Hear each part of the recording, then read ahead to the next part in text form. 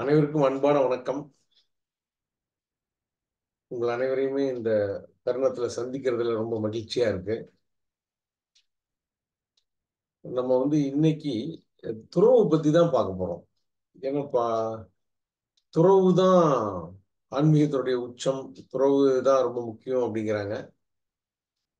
ஆஹ் கூட துறவுங்கிற அதிகாரத்துல நிறைய குரல் எழுதியிருக்காரு. எல்லாருமே நம்ம வந்து துறவுனா என்ன நினைச்சிட்டு இருக்கோம்? அப்படிங்கிறது ஒரு ஐடியா கிடைச்சிச்சுன்னா நம்ம அதை பத்தி பேச முடியாது. ஏன்னா நம்ம வந்து ஞானி அப்படிங்கிற வார்த்தையை கேட்டீங்கன்னா முற்றும் துறந்த ஞானின்னு தான் சொல்லுவாங்க. அது உண்மைதான். அப்ப முற்றும் துறந்தால்தான் ஞானிங்கிறது கரெக்டு தான். அப்போ வந்து ஆக்சுவலா அந்த துறவுக்கான அர்த்தம் புரிஞ்சிச்சுன்னா புரிஞ்சுக்கிச்சு அப்படின்னா அது முற்றும் துறந்த ஞானிங்கிறது சரியான வேடா இருக்கும். அப்படிங்கும்போது நம்ம துறவை பத்தி என்ன நினைக்கிறோம்? எல்லா துன்பத்திலிருந்து விடுபடணும்னா துறவு ரொம்ப முக்கியம் அப்படிங்கிறாங்க. வள்ளுவரும் அதான் சொல்றாரு. குரல்ல பாத்தீங்கன்னா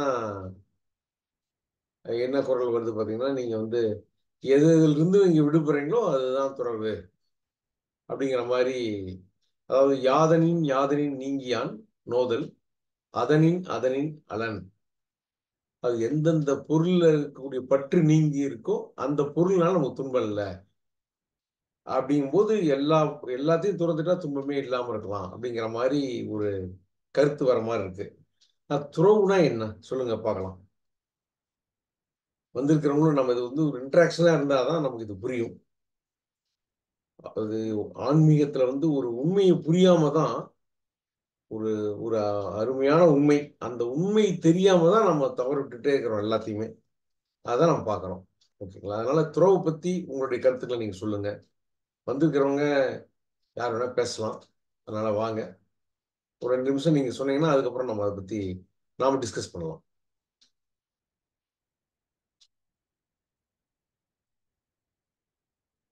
சுதாகர் சார் சொல்லுங்க. என்னங்க? சுதாகர் சார் ஆ. வணக்கம் ஜெயமணி சார் வணக்கம். நல்லா இருக்கீங்களா? நல்லா இருக்கேன். நீங்க எப்படி இருக்கீங்க? நல்லா இருக்கேன் ஜெயமணி சார் ஆக்சுவலாக நீங்கள் கேட்ட கேள்வி வந்து என்ன துறவுனா என்ன அப்படின்னு கேட்டீங்க. பகவத் ஐயாவுக்கு புரிதல் ஏற்பட்ட பிறகு என்னோட கருத்து இது. இது என்னோட கருத்துன்றத விட பகவத் ஐயாவோட கருத்தாக தான் நான் நினைக்கிறேன். அதாவது மனதின் மூலமாக தான் அனைத்து வேலையும் நம்ம செய்கிறோம் இன்க்ளூடிங் நம்மளோட நம்மளோட தினசரி வேலைகள் உட்பட நம்மளோட சர்வைவலே பார்த்தீங்கன்னா வாழ்க்கை முறையே வந்து மனதினோட இயக்கத்தில் தான் இருக்கு. நாம் வேற மனம் வேற இல்லைன்ற மாதிரி தான் நம்ம இருக்கிறோம். ஆனால் அந்த மனம் வந்து அதன் போக்கில் இயங்கணும். அந்த மனதின் மூலமா மனதையே நம்ம ஒரு பற்றா எடுத்துக்காம மனதே வந்து நாம் இல்லை அப்படிங்கிற மாதிரி மனதையே துறக்கக்கூடிய ஒரு நிலையில நீங்க சரணாகதி நிலையில இருக்கும்போது அதுதான் நிச்சயமான துறவா இருக்கும். ஸோ மனதை விட்டே நீங்க விலகி நிற்கிற மாதிரி விலகி நிற்கிறத கூட சொல்றதோட மனது தான் இருந்தாலும் அந்த விஷயத்தை நீ பற்று இல்லாமல் இருக்கணும் அப்படிங்கறது தான் நான் நினைக்கிறேன். Okay okay okay. மகிழ்ச்சி. உங்க கருத்தை நீங்க பகிர்ந்துக்கிறதுல ரொம்ப மகிழ்ச்சி. புரிஞ்சுக்கிட்டது வந்து ஐயா ஐயாவுடைய புரிதல் தான் அப்படிங்கிறத விட எப்ப நீங்க புரிஞ்சுக்கிட்டீங்களோ அப்போ இது உங்க புரிதலா மாறிடுது. ஓகேங்களா? ரொம்ப மகிழ்ச்சி. இன்னும் வேற யாராவது பகிர விரும்புறீங்களா உங்க கருத்துக்களை?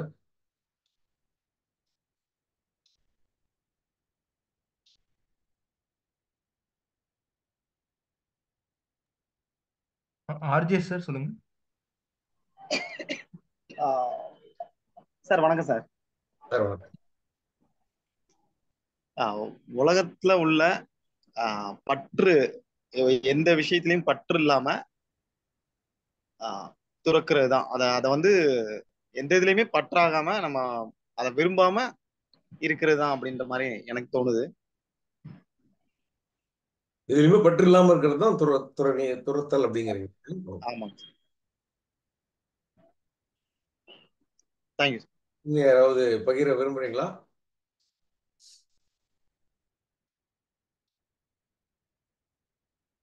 கிருஷ்ணன் சார் சொல்லுங்க. ஐயா வணக்கங்க. கேக்குதுங்களா? ஆ கேக்குதுங்க.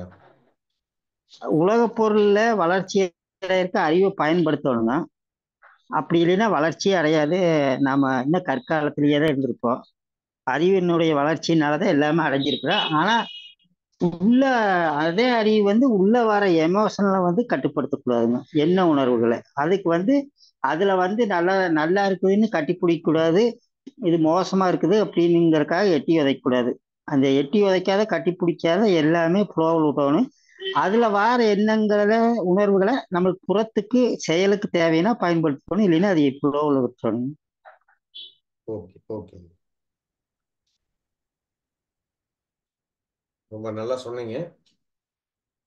அதாவது எல்லாருமே நம்ம என்ன நினைக்கிறாங்க அப்படின்னா துறவு அப்படின்னா எல்லாம் நினைக்கிறதுனா வீடு மனைவி மக்கள் எல்லாத்தையுமே திறந்துடணும்.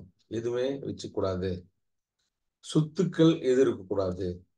சொந்தங்கள் எதுவும் இருக்கக்கூடாது? எல்லாத்தையும் திறந்துட்டு நாம் வந்து காவி உடை அணிஞ்சிட்டு நாம் என்ன நினைக்கிறோம்? நாம் வந்து எல்லாத்தையும் திறந்துட்டு காடு மலைன்னு போயிடணும். இதுதான் உண்மையான துறவு அப்படின்னு அவங்க நினைச்சிட்டு இருக்காங்க. இப்படி நினைச்சுக்கிட்டு தான் அவங்க என்ன பண்ணுறாங்கன்னா இப்படி யாராலையும் துறக்க முடியாமல் முடியாது. அதனால தெரிஞ்சுக்கணும் நாம். இது உண்மையில துறவே அல்ல. அதாவது நமது வாழ்க்கை அப்படிங்கிறதே வந்து உறவுல தான் இருக்கே தவிர துறவுல கிடையாது. நீங்க வந்து எதை துறக்க முடியும் பாருங்க. எப்படி நம்ம துறக்க முடியும்? வீடு மனைவி மக்கள் துறந்துடலாம். சுத்து துறந்த சொத்து சுகங்கள் எல்லாத்தையும் துறந்துட்டு போனா கூட நமக்கு உணவு வேணுமா இல்லையா? உணவு வேணும் உடை வேணும் இருக்கிற இருக்கிறதுக்கு இடம் வேணும். நீங்க எல்லா இப்ப நீங்க உடையும் வேணாம். உணவும் வேணாம் கூட இந்த உடலாவது வேணும்ல. அப்போ வந்து எப்படி நம்ம வந்து எதையுமே இல்லாமல் இப்படி வாழ முடியும்?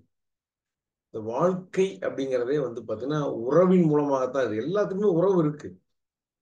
உணவு உடை இருப்பிடம் இது இதனுடைய அளவு முறை எல்லாத்துக்குமே தேவைப்படுது.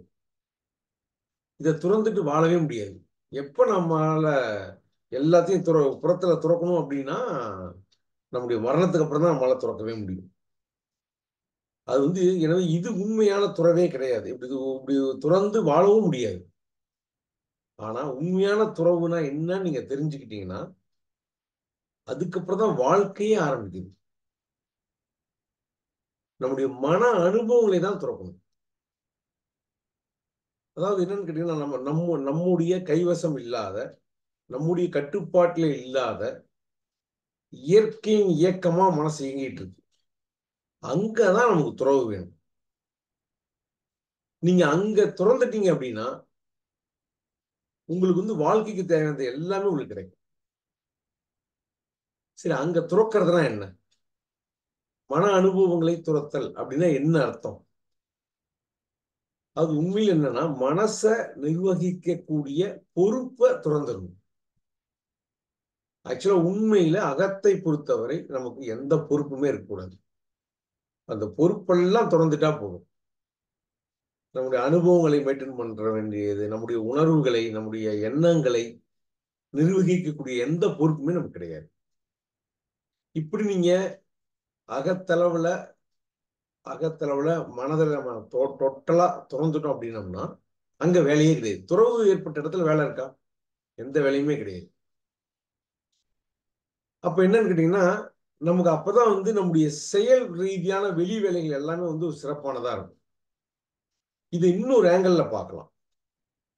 பகவத்கீதையினுடைய சாராம்சம் என்ன? கடமையை செய் பலனை எதிர்பாராதே. என்னன்னு கேட்டீங்கன்னா நமக்கு பலன் மேல பற்று இல்லாத இருக்கிற நிலைமை இருக்கிற நிலை தான் வந்து உண்மையான துறவு. நீங்க பலன் மேல பற்று நம்மளால செய்யவே முடியும். ஒரு செயல் செய்யறோம் அப்படின்னா அந்த செயல் வெற்றி அடையணுங்கிற ஒரு நோக்கத்துக்காக என்ன செய்யறோம்.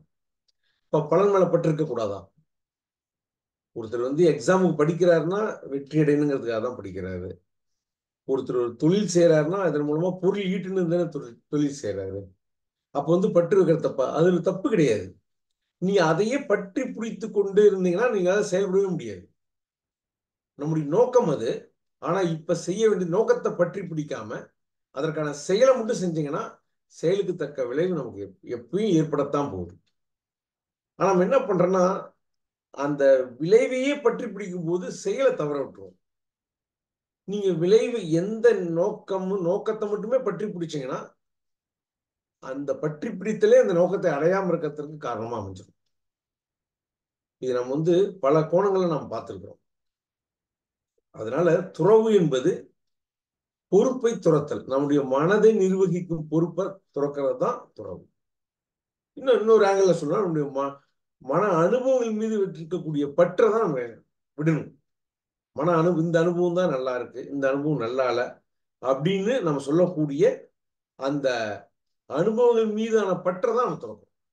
சரி இப்போ வந்து அஹ், திருக்குறளுக்கு வரணும்னு வச்சுக்கோங்க. என்ன வருது? யாதனின் யாதனின் நீங்கியான் நோதல் அதனின் அதனின் அலன். என்னன்னு கேட்டீங்கன்னா எந்தெந்த பொருள் மீது இருக்கக்கூடிய பற்றை நீங்க நீங்கிறீங்களோ அந்த பொருளால உங்க துன்பம் இல்லைன்னு வருது. இப்ப நம்ம ஒரு செயல் செய்யறோம் அதனுடைய விளைவு வருது. அந்த விளைவை நாம் எப்படி உணர்றோம்? அந்த விளைவு இன்பமா இருக்கலாம் துன்பமா இருக்கலாம். அமைதியா இருக்கலாம் ஆனந்தமா இருக்கலாம் வருத்தமா இருக்கலாம் வேதனையா இருக்கலாம் எதா வேணா இருக்கட்டும். இது எப்படி நம்ம உணர்றோம்? இது எல்லாமே மனதை கொண்டு தானே உணர்றோம். மனசுல என்ன ஏற்படுதோ அதுதானே உணர்றோம். இப்ப இதுல என்னன்னு கேட்டீங்கன்னா நீங்க அந்த பொருளை துறக்கிறதுக்கு பதிலா மனசை திறந்துட்டா போதுமே. ஒட்டு மொத்தமா நீங்க வந்து இதெல்லாம் அந்த உலகத்தையே நாம மனசை கொண்டுதான் புரிஞ்சுக்கிறோம். மனசை கொண்டு தான் உணரணும். அப்ப எந்த ஒரு எதிர்விளைவா இருந்தாலும் மனசுல தானே ஏற்படுது. நம்ம செய்யக்கூடிய செயல் நாம சந்திக்கக்கூடிய ஒரு சூழ்நிலை நமக்கு ஏற்படக்கூடிய நிலை எல்லாமே இந்த மனசுல தானே ஏற்படுது. அப்ப நீங்க வெளியில செயல்பட்டாலும் வெளியில வந்து உறவு இருந்தாதான் வாழவே முடியும். ஆனா அதுக்கு விளைவு எல்லாம் தோன்றக்கூடிய இடம் வந்து மனசு தான் அந்த மனசை மட்டும் நீங்க திறந்துட்டீங்க அப்படின்னா மனசுனால வரக்கூடிய துன்பம் இல்லை எந்த பொருளையும் நாம எந்த பொருளிலிருந்து பற்றி நீங்கன்னா நம்ம இருக்கிறோமோ அந்த பொருள்னால நமக்கு துன்பம் கிடையாது. இப்போ மனசுல பற்று இல்லாம இருந்துட்டா மட்டுமே போதும். மனசுனால வரக்கூடிய துன்பம் கிடையவே கிடையாது.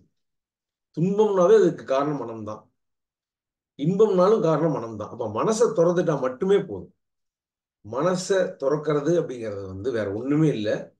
மனசை நிர்வகிக்கிற பொறுப்புல இருந்து துறந்துறது மனசுல வரக்கூடிய அனுபவங்கள் மீது இருக்கக்கூடிய பற்றுக்களை துறந்துறது அவ்வளவுதான்.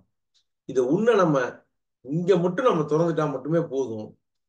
உங்களுக்கு நீ எந்த ஒரு செயல் செஞ்சாலும் நீங்க அந்த செயல் செய்யும் போது ஏற்படக்கூடிய பாதிப்புல நம்ம நோகடிக்கப்பட்டு தான் அந்த செயல் வந்து நடைபெறாம போகும் அந்த செயல் தோல்வி அடையும் ஸோ இங்க எந்த ஒரு பற்றும் இல்லாதப்ப உங்களுடைய செயல் அனைத்துமே இப்படிப்பட்ட செயலா இருக்கும். ஒரு நிஷ்காமிய கர்மாவா இருக்கும். நிஷ்காமிய கர்மாவினால வரக்கூடிய விளைவு எப்பவுமே துன்பத்தையே கொடுக்காது. அப்போ என்ன ஆகும்னு கேட்டீங்கன்னா அந்த செயல் வெற்றியடைவதற்கான வாய்ப்பு ரொம்ப அதிகமா இருக்கும். நீங்க உள்ள திறந்துட்டீங்கன்னா உண்மையில சொல்றேன் வெளியே உங்களுக்கு தேவையானது எல்லாமே கிடைச்சிட்டே இருக்கும். அது கிடைக்கலனா கூட அது அது வந்து அதனால துன்பம் ஏற்படாது. ஏன்னா அதுதான் நம்ம இங்கே எதையுமே நம்ம பிடிச்சி வைக்கலையே. பிடிச்சு வைக்காத எல்லா நிலையுமே என்னன்னு கேட்டீங்கன்னா எல்லாமே தோன்றி மறையக்கூடிய ஒரு நிலையா தாமாக சுதந்திரமாக இயங்கக்கூடிய நிலையா மாறிடும். நம்ம ஒன்னே ஒண்ணு புரிஞ்சுக்க வேண்டியது இதுதான். துறவுங்கிறது அகத்துக்கு தானே தவிர புறத்துக்கு அல்ல. அகத்துறவு அப்படின்னா அகத்தை நிர்வகிக்கும் பொறுப்பை துரத்தல் தான் அகத்துறவு. இதை இதை மெயின்டைன் பண்ணணும் இதை தக்க வச்சுக்கணும். எனக்கு இந்த அனுபவம் தான் ஏற்படணும். இந்த மாதிரி மோசமான அனுபவம் ஏற்படக்கூடாது. ஒரு ஆனந்த அனுபவம் தான் ஏற்படணும் அப்படின்ட்டு உள்ளுக்குள்ள நம்ம போராடக்கூடிய இந்த போராட்டம் தான் நம்முடைய அனைத்து பிரச்சனைக்குமே காரணம். இதுக்கு உங்களுக்கு வந்து வெளியில நீங்க துறவா இருக்க வேண்டிய அவசியம் இல்லை. வெளியே வீட்டை விட்டு போக வேண்டிய அவசியம். அப்படிலாம் போனவங்க எல்லாம் என்னன்னு கேட்டீங்கன்னா இது புரிஞ்சுக்காம அது புரிஞ்சுக்கிட்டு போறவங்க அது வேற விஷயம் அது. புரிஞ்சிக்காம போறவங்க எல்லாருமே என்னன்னு கேட்டீங்கன்னா துறந்துட்டேங்கிற பேர்ல அதை மனசுல சுமந்துக்கிட்டு இது இல்லாம இருக்கிறனே அது இல்லாம இருக்கிறனேன்னு அவங்க ரொம்ப நோகடிக்கப்பட்டு கஷ்டப்பட்டுட்டு இருக்காங்க. உண்மையில நாம வாழும் வரை புறத்துல தேவையானதை நம்மளால துறக்கவே முடியாது. உண்மையில அதை துறந்தா அது துறவும் கிடையாது. அகத்தளவுல ஏற்படக்கூடிய நம்முடைய அனுபவங்களின் மீது ஏற்படக்கூடிய பற்றை விடுபடுறது பற்றிலிருந்து விடுபடுறது தான் உண்மையான துறவே. இந்த ஒரு துறவு ஏற்பட்டுருச்சுன்னு பாருங்க. உங்களுக்கு வந்து எந்த ஒரு நீங்க எந்த ஆங்கிள் பார்த்தாலுமே இங்க துறவு ஏற்பட்டவங்களுக்கு துன்பமே நீடிப்பதே கிடையாது. அவங்க செயல் எல்லாமே வெற்றியை நோக்கிய செயலா தான் இருக்கும். இதை வந்து நான் அனுபவ ரீதியா நிறைய விஷயத்த நம்ம பார்த்துருக்கோம். நீங்க இங்க திறந்து பாருங்க. உங்க செயல் எல்லாம் எப்படி இருக்கும் பாருங்க. செயல்ல ஒரு ஒன்றிய செயலா இருக்கும். அது வந்து நிஷ்காமிய கர்மாவா இருக்கும். அதனால வரக்கூடிய விளைவுகள் வந்து ரொம்ப நல்லாவே இருக்கும். உங்களுக்கு தேவையானது கிடைச்சிக்கிட்டே இருக்கும். எனக்கு இந்த விளக்கத்தை நம்ம கொடுக்கறத தாண்டி இது இதுல வரக்கூடிய உங்களுக்கு சந்தேகங்களை நீங்களும் இது வந்து என்னுடைய விளக்கங்கள் மட்டுமே உங்களுக்கு போதுமானதா இருக்காது. அதுல வரக்கூடிய உங்களுடைய டவுட்ஸ் என்னவோ நீங்க இதை எப்படி துறவுனா என்ன வேற எப்படி எப்படி நம்ம வந்து விடுபடுறது அப்படின்னு உங்களுக்கு வரக்கூடிய நடைமுறையில நீங்க எதிர்கொள்ளக்கூடிய சிக்கல் நீங்க புரிஞ்சுக்கிறதுல ஏற்படக்கூடிய டவுட் அதை வந்து நீங்க எல்லாரும் கேட்டீங்கன்னா அதை பத்தி நம்ம டிஸ்கஸ் பண்ண முடியும். உண்மையான துறவு என்பது அகத்துறவு தான். அகத்தை நிர்வகிக்கும் பொறுப்பை துறத்தல் தான் உண்மையான துறவு. நம்முடைய மன அனுபவங்களின் மீது வைத்திருக்கக்கூடிய வைத்திருக்கக்கூடிய பற்றுகளில் இருந்து விடுபடுறது தான் உண்மையான துறவு. ஓகேங்களா நீங்க உங்க சந்தேகத்தை கேளுங்க. நம்ம நிறைய டிஸ்கஸ் பண்ணலாம். அது உங்களுக்கு ரொம்ப பயனுள்ளதா இருக்கும். வாங்க.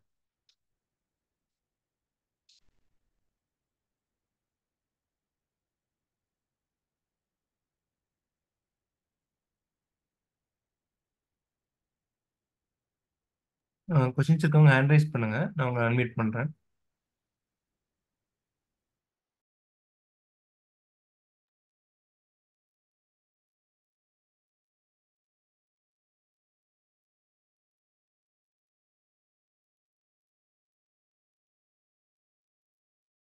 நல்லா புரிஞ்சுக்கிட்டோமா யாருக்குமே டவுட்டே இல்லையா?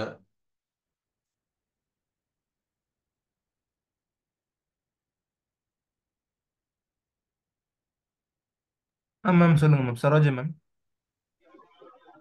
ஐயா வணக்கம்யா வணக்கங்க மேம் வாழ்க வளமுடன். ஐயா அப்ப நீங்க சொல்றது எல்லாமே நாங்க அப்ப எந்த செயல் செஞ்சாலும் அதுல விருப்பு வெறுப்பு எதுவுமே இல்லாம பற்று இல்லாம செய்யணும் அப்படின்னு சொல்றீங்களா ஐயா? அது அதாவது அதுவே செய்யட்டும்னு விடணும்னா அது எப்படிங்க நாங்க ஸ்டெப் எடுக்கிறது? நம்ம எந்த செயல் வேணா செய்யுங்க. அந்த செயல் செய்யும் போது. நம்ம மனசுல ஏதோ உணர்வுகள் வரலாம் இல்லையா? ஆமாங்கய்யா ஆ. வருத்தம் வரலாம் ஒண்ணு விருப்பப்பட்டு செய்வோம் அல்லது விருப்பம் இல்லாம செய்வோம் ஆமா. இல்ல ஒரு சூழ்நிலைக்கு செய்ய வேண்டிய கட்டாயத்துக்கு ஒரு வேலையை செய்யறோம்னு வச்சுங்களேன் ஆமாங்கய்யா அந்த வேலை செய்யும் போது அதனால ஒரு மனசுல ஒரு விளைவு ஏற்படும் இல்ல ஆமாங்கய்யா அந்த விளைவு வந்து இயற்கையான விளைவு. அதை நம்ம அத அந்த விளைவை மாத்தணும்னோ தக்க வச்சுக்கணும்னு ஒரு கிடையாது. நீங்க பணத்தை பொறுத்தவரை எது சரியானதோ அதை செய்யுங்க. அது சரி தப்புன்னு எப்படிங்க டிசைட் பண்ண முடியும்? இந்த அறிவுக்கு தெரிஞ்சு நீங்க சரின்னு பண்ணுங்க. சரி தப்புங்கிறது ஒவ்வொரு நபருக்கும் மாறுபடும். சரிங்கய்யா அறிவுக்கு அது சரின்னு பண்றத பண்ணுங்க. ஓகேங்களா? அப்படி. பண்ணக்கூடிய விளைவு வந்து நம்ம மனசுல மகிழ்ச்சி ஏற்படலாம் இல்ல கஷ்டம் வரலாம் துக்கம் வரலாம். எது வந்தாலும் அது இயற்கை. அங்க வந்து நமக்கு எந்த வேலையுமே இல்லை. நம்ம வந்து நீங்க கொண்டு வரல ஆமா. தாமா தான் வருது. அங்க வந்து நமக்கு எந்த மாத்த வேண்டிய வேலையும் இல்லை. அப்புறம் புறத்துல இருந்து நிறைய நமக்கு சில கஷ்டங்கள்லாம் வருது அது இருக்குங்க. அப்ப நாங்களே செய்யாம. வெளியில இருந்து எங்களுக்கு கஷ்டங்கள் வருது இல்லைங்க. அப்ப அதுங்க இல்ல வெளியிருந்து கஷ்டம் ஒரு உதாரணம் சொல்லுங்களேன். இப்ப எங்க ஒரு தெரிஞ்சவங்களோ ஒருத்தவங்க எங்களை என்னை தேவையில்லாம ஒரு வார்த்தையில திட்டுறது எங்களை என்னை தேவையில்லாம துன்புறுத்தலாம் எங்க வீட்டாளுகளே கூட எடுத்துக்கலாங்க ஹஸ்பண்டோ குழந்தைகளோ ஹாசா பேசுறது ஏதோ ஒண்ணு எனக்கு மனசுக்கு பிடிக்காம செய்யறாங்க. அத நான் எப்படிங்க இது இப்படி இப்ப அத எப்படி நான் இப்ப ஃபேஸ் பண்ண முடியும்? எனக்கு பிடிச்சு செஞ்சு அஹ் அஹ் சந்தோ நல்லா பண்ணாங்கன்னா எனக்கு பிடிக்கும். பிடிக்காதத எனக்கு கஷ்டப்படுத்துற மாதிரி பண்ணுனாங்கன்னா அதை நான் எப்படி எடுத்துக்கணுங்க? பிடிக்காத செய்யறாங்க ஒரு தப்பு செய்யறாங்கன்னா ஒரு வருத்தம் இது கோபம் வர்றது இயற்கை தானே. நம்ம வந்து அதை சரி பண்ண வேண்டிய வேலை இல்லை. வெளியில அவங்கள அவங்கள சரி பண்ணணுமா? இல்ல அவங்க செயலை திருத்தணுமா? இல்ல சரி ஓகே எடுத்துக்கலாமான்னு முடிவு எடுக்க வேண்டியது நீங்க. வெளியில என்ன செயல்படுறதுன்னு முடிவெடுங்க. அதை செய்யுங்க. அதனால வரக்கூடிய உங்களுக்கு வருத்தம் கவலை அல்லது கோபம் பயம் எது வந்தாலும் அது இயற்கை. அங்க வந்து. அது- மேல வந்து ஒரு பற்றோ எனக்கு இந்த இந்த வருத்தம் மட்டும் வந்துடக்கூடாது. இல்ல இந்த பயமே. வந்துடக்கூடாது எனக்கு கோபம் மட்டும் வந்துடக்கூடாதுன்னு அங்க எந்த ஒரு நிர்வகிக்கக்கூடிய எந்த பொறுப்புமே நமக்கு இல்லை. சரிங்கய்யா ம். நம்முடைய வேலையெல்லாம் வந்து அவங்க தப்பு பண்றாங்களா? அவங்கள சரி பண்ணக்கூடிய வாய்ப்பு இருக்கா? முடிஞ்சிருச்சா? முடிஞ்சிருச்சுன்னா இப்படி. டீல் பண்ணா அடுத்தது அவங்க வந்து தப்பு பண்ண மாட்டாங்க? அப்படிங்கிற மாதிரி வெளியில வந்து என்ன செய்யணுங்கிறத பாருங்க. சரிங்கய்யா நீங்க உள்ளுக்குள்ள. எனக்கு- அப்படி கோவம் வந்துச்சு. முதல்ல கோவப்பட்டு ஒரு அடிச்சிடுறீங்க. ஒரு குழந்தைய கூட. பண்ண தப்ப நீங்க அடிச்சிடுறீங்க. முதல்ல அடிச்சிடுறீங்க கோவப்பட்டு. அது அப்புறம் வந்து ஏன் நம்ம கொஞ்ச நேரத்துல புரிஞ்சுட்டு நம்ம தெரியாம குழந்தைய அடிச்சிட்டோமேன்னு நினைச்சிட்டு ஃபீல் பண்றோம். அடிக்கல் பண்ணி உட்கார்ந்துட்டு இருக்கிறோம். அதனால இதுதான் பிரச்சனையே. நம்ம வந்து உங்க அகத்தை நீங்க நிர்வாகம் பண்றதுதான் பிரச்சனையே தவிர நீங்க அங்க வந்து இயற்கையானதுதான் எல்லாம் வருதுன்னு வெளியில நீங்க உங்க உங்க கவனங்கிறது ஒண்ணுதான் இருக்கு. அது. நோக்கி செயல்பட ஆரம்பிச்சீங்கன்னா அங்க நிதானங்கிறது வந்துடும் அது எப்படி டீல் பண்ண முடியுங்கிறது வந்துடும் உள்நோக்கிய பயணமாவே தான் இருக்கணும் அப்ப. என்னங்கய்யா உள்நோக்கி உள்நோக்கி பயணம் வேணாங்கிறேன் நான். வேண்டாம் அப்ப வெளியில இருந்து பார்த்தாலே உள்நோக்குன உள்ள வந்து கிளியர் ஆயிரும்ன்றீங்களா? எனக்கு இந்த இடம் கொஞ்சம் புரியல வரக்கூடிய உணர்வை பயன்படுத்திக்கங்க. அது சரி பண்றதோ அல்லது தக்க வச்சுக்கிறதோ இல்ல அப்புறப்படுத்துறதோ அங்க தேவையில்ல. அதை வெளியே செயல்படுங்க. எல்லாமே அப்ப வெளியில தான் உள்ள எதுவுமே தேவையில்ல ஆட்டோமேட்டிக்கா அதுவே சரியாயிக்கிறோம் நீங்க செயல்படுறதுக்கு வாய்ப்பே கிடையாது. நீங்க ஒரு குழந்தை வந்து கத்தி வச்சுக்கிட்டு விளையாடிட்டு வச்சுங்களேன் ஒரு பயம் வருதுன்னு வச்சுக்கோங்க. ஐயோ ஏதாவது பயம் வந்தாதான் என்ன பண்ணுவோம் நாம? குழந்தை கையில் இருக்கிற கத்தி எடுத்து நம்ம எடுத்து தூரமா வைப்போம். ஆமாங்க அது கேட்டாத இடத்துல வச்சிருவோம். ஆமா இது வந்து அப்ப இந்த பயம் வந்தது நமக்கு உதவி தானே வந்திருக்கு. ஆமாங்க இந்த குழந்தை வந்து ஒரு ஒரு திட்டுல ஓரமா நின்று இருக்கு கீழே விழுந்துட்டா என்ன பண்றதுன்னு ஒரு ஒரு ஒரு பயம் வருதுன்னு வச்சுக்கோங்க. அப்பதான் நம்ம அந்த குழந்தைய குழந்தைய போய் காப்பாத்தி தனியா தூக்கி கொண்டாந்து நல்ல இடத்துல. பாதுகாப்பா நிப்பாட்டி. வைப்போம். ஆமா. இல்ல அந்த குழந்தை வந்து ஒரு பொருளை வந்து கொட்டிடுச்சுன்னு வச்சுக்கோங்க. அதனால கோவமே வருதுன்னு கூட வச்சுக்கோங்க. பட் இந்த கோவத்தை வந்து கோவம் வர்றது இயற்கைன்னு எடுத்துட்டு என்ன பண்ணலாம்? அந்த பொருளை தூரமா வைக்கலாம். அந்த குழந்தையும் பாதுகாப்பா இடத்துல உட்கார அப்ப அந்த செயல் நடக்காம அந்த செயல்ல விழிப்பா இருந்து வெளியில வேலை இருக்கு. எந்த வேலையுமே இல்லை. அந்த செயல் ஏற்படுத்துறவங்க மேல கிடையாது. அந்த செயல் மேல கவனத்தை செலுத்த சொல்றீங்க. அப்படித்தானேங்க? உங்க மனசுல உங்க மனசை சரி பண்ற வேலையில இருந்து வெளியில என்ன வேலை இருக்குன்னு பாருங்கிறேன் அஹ், சரிங்கய்யா. ஓகேங்க. நன்றிங்க. நன்றிங்க. ஷாலினி மேம் சொல்லுங்க.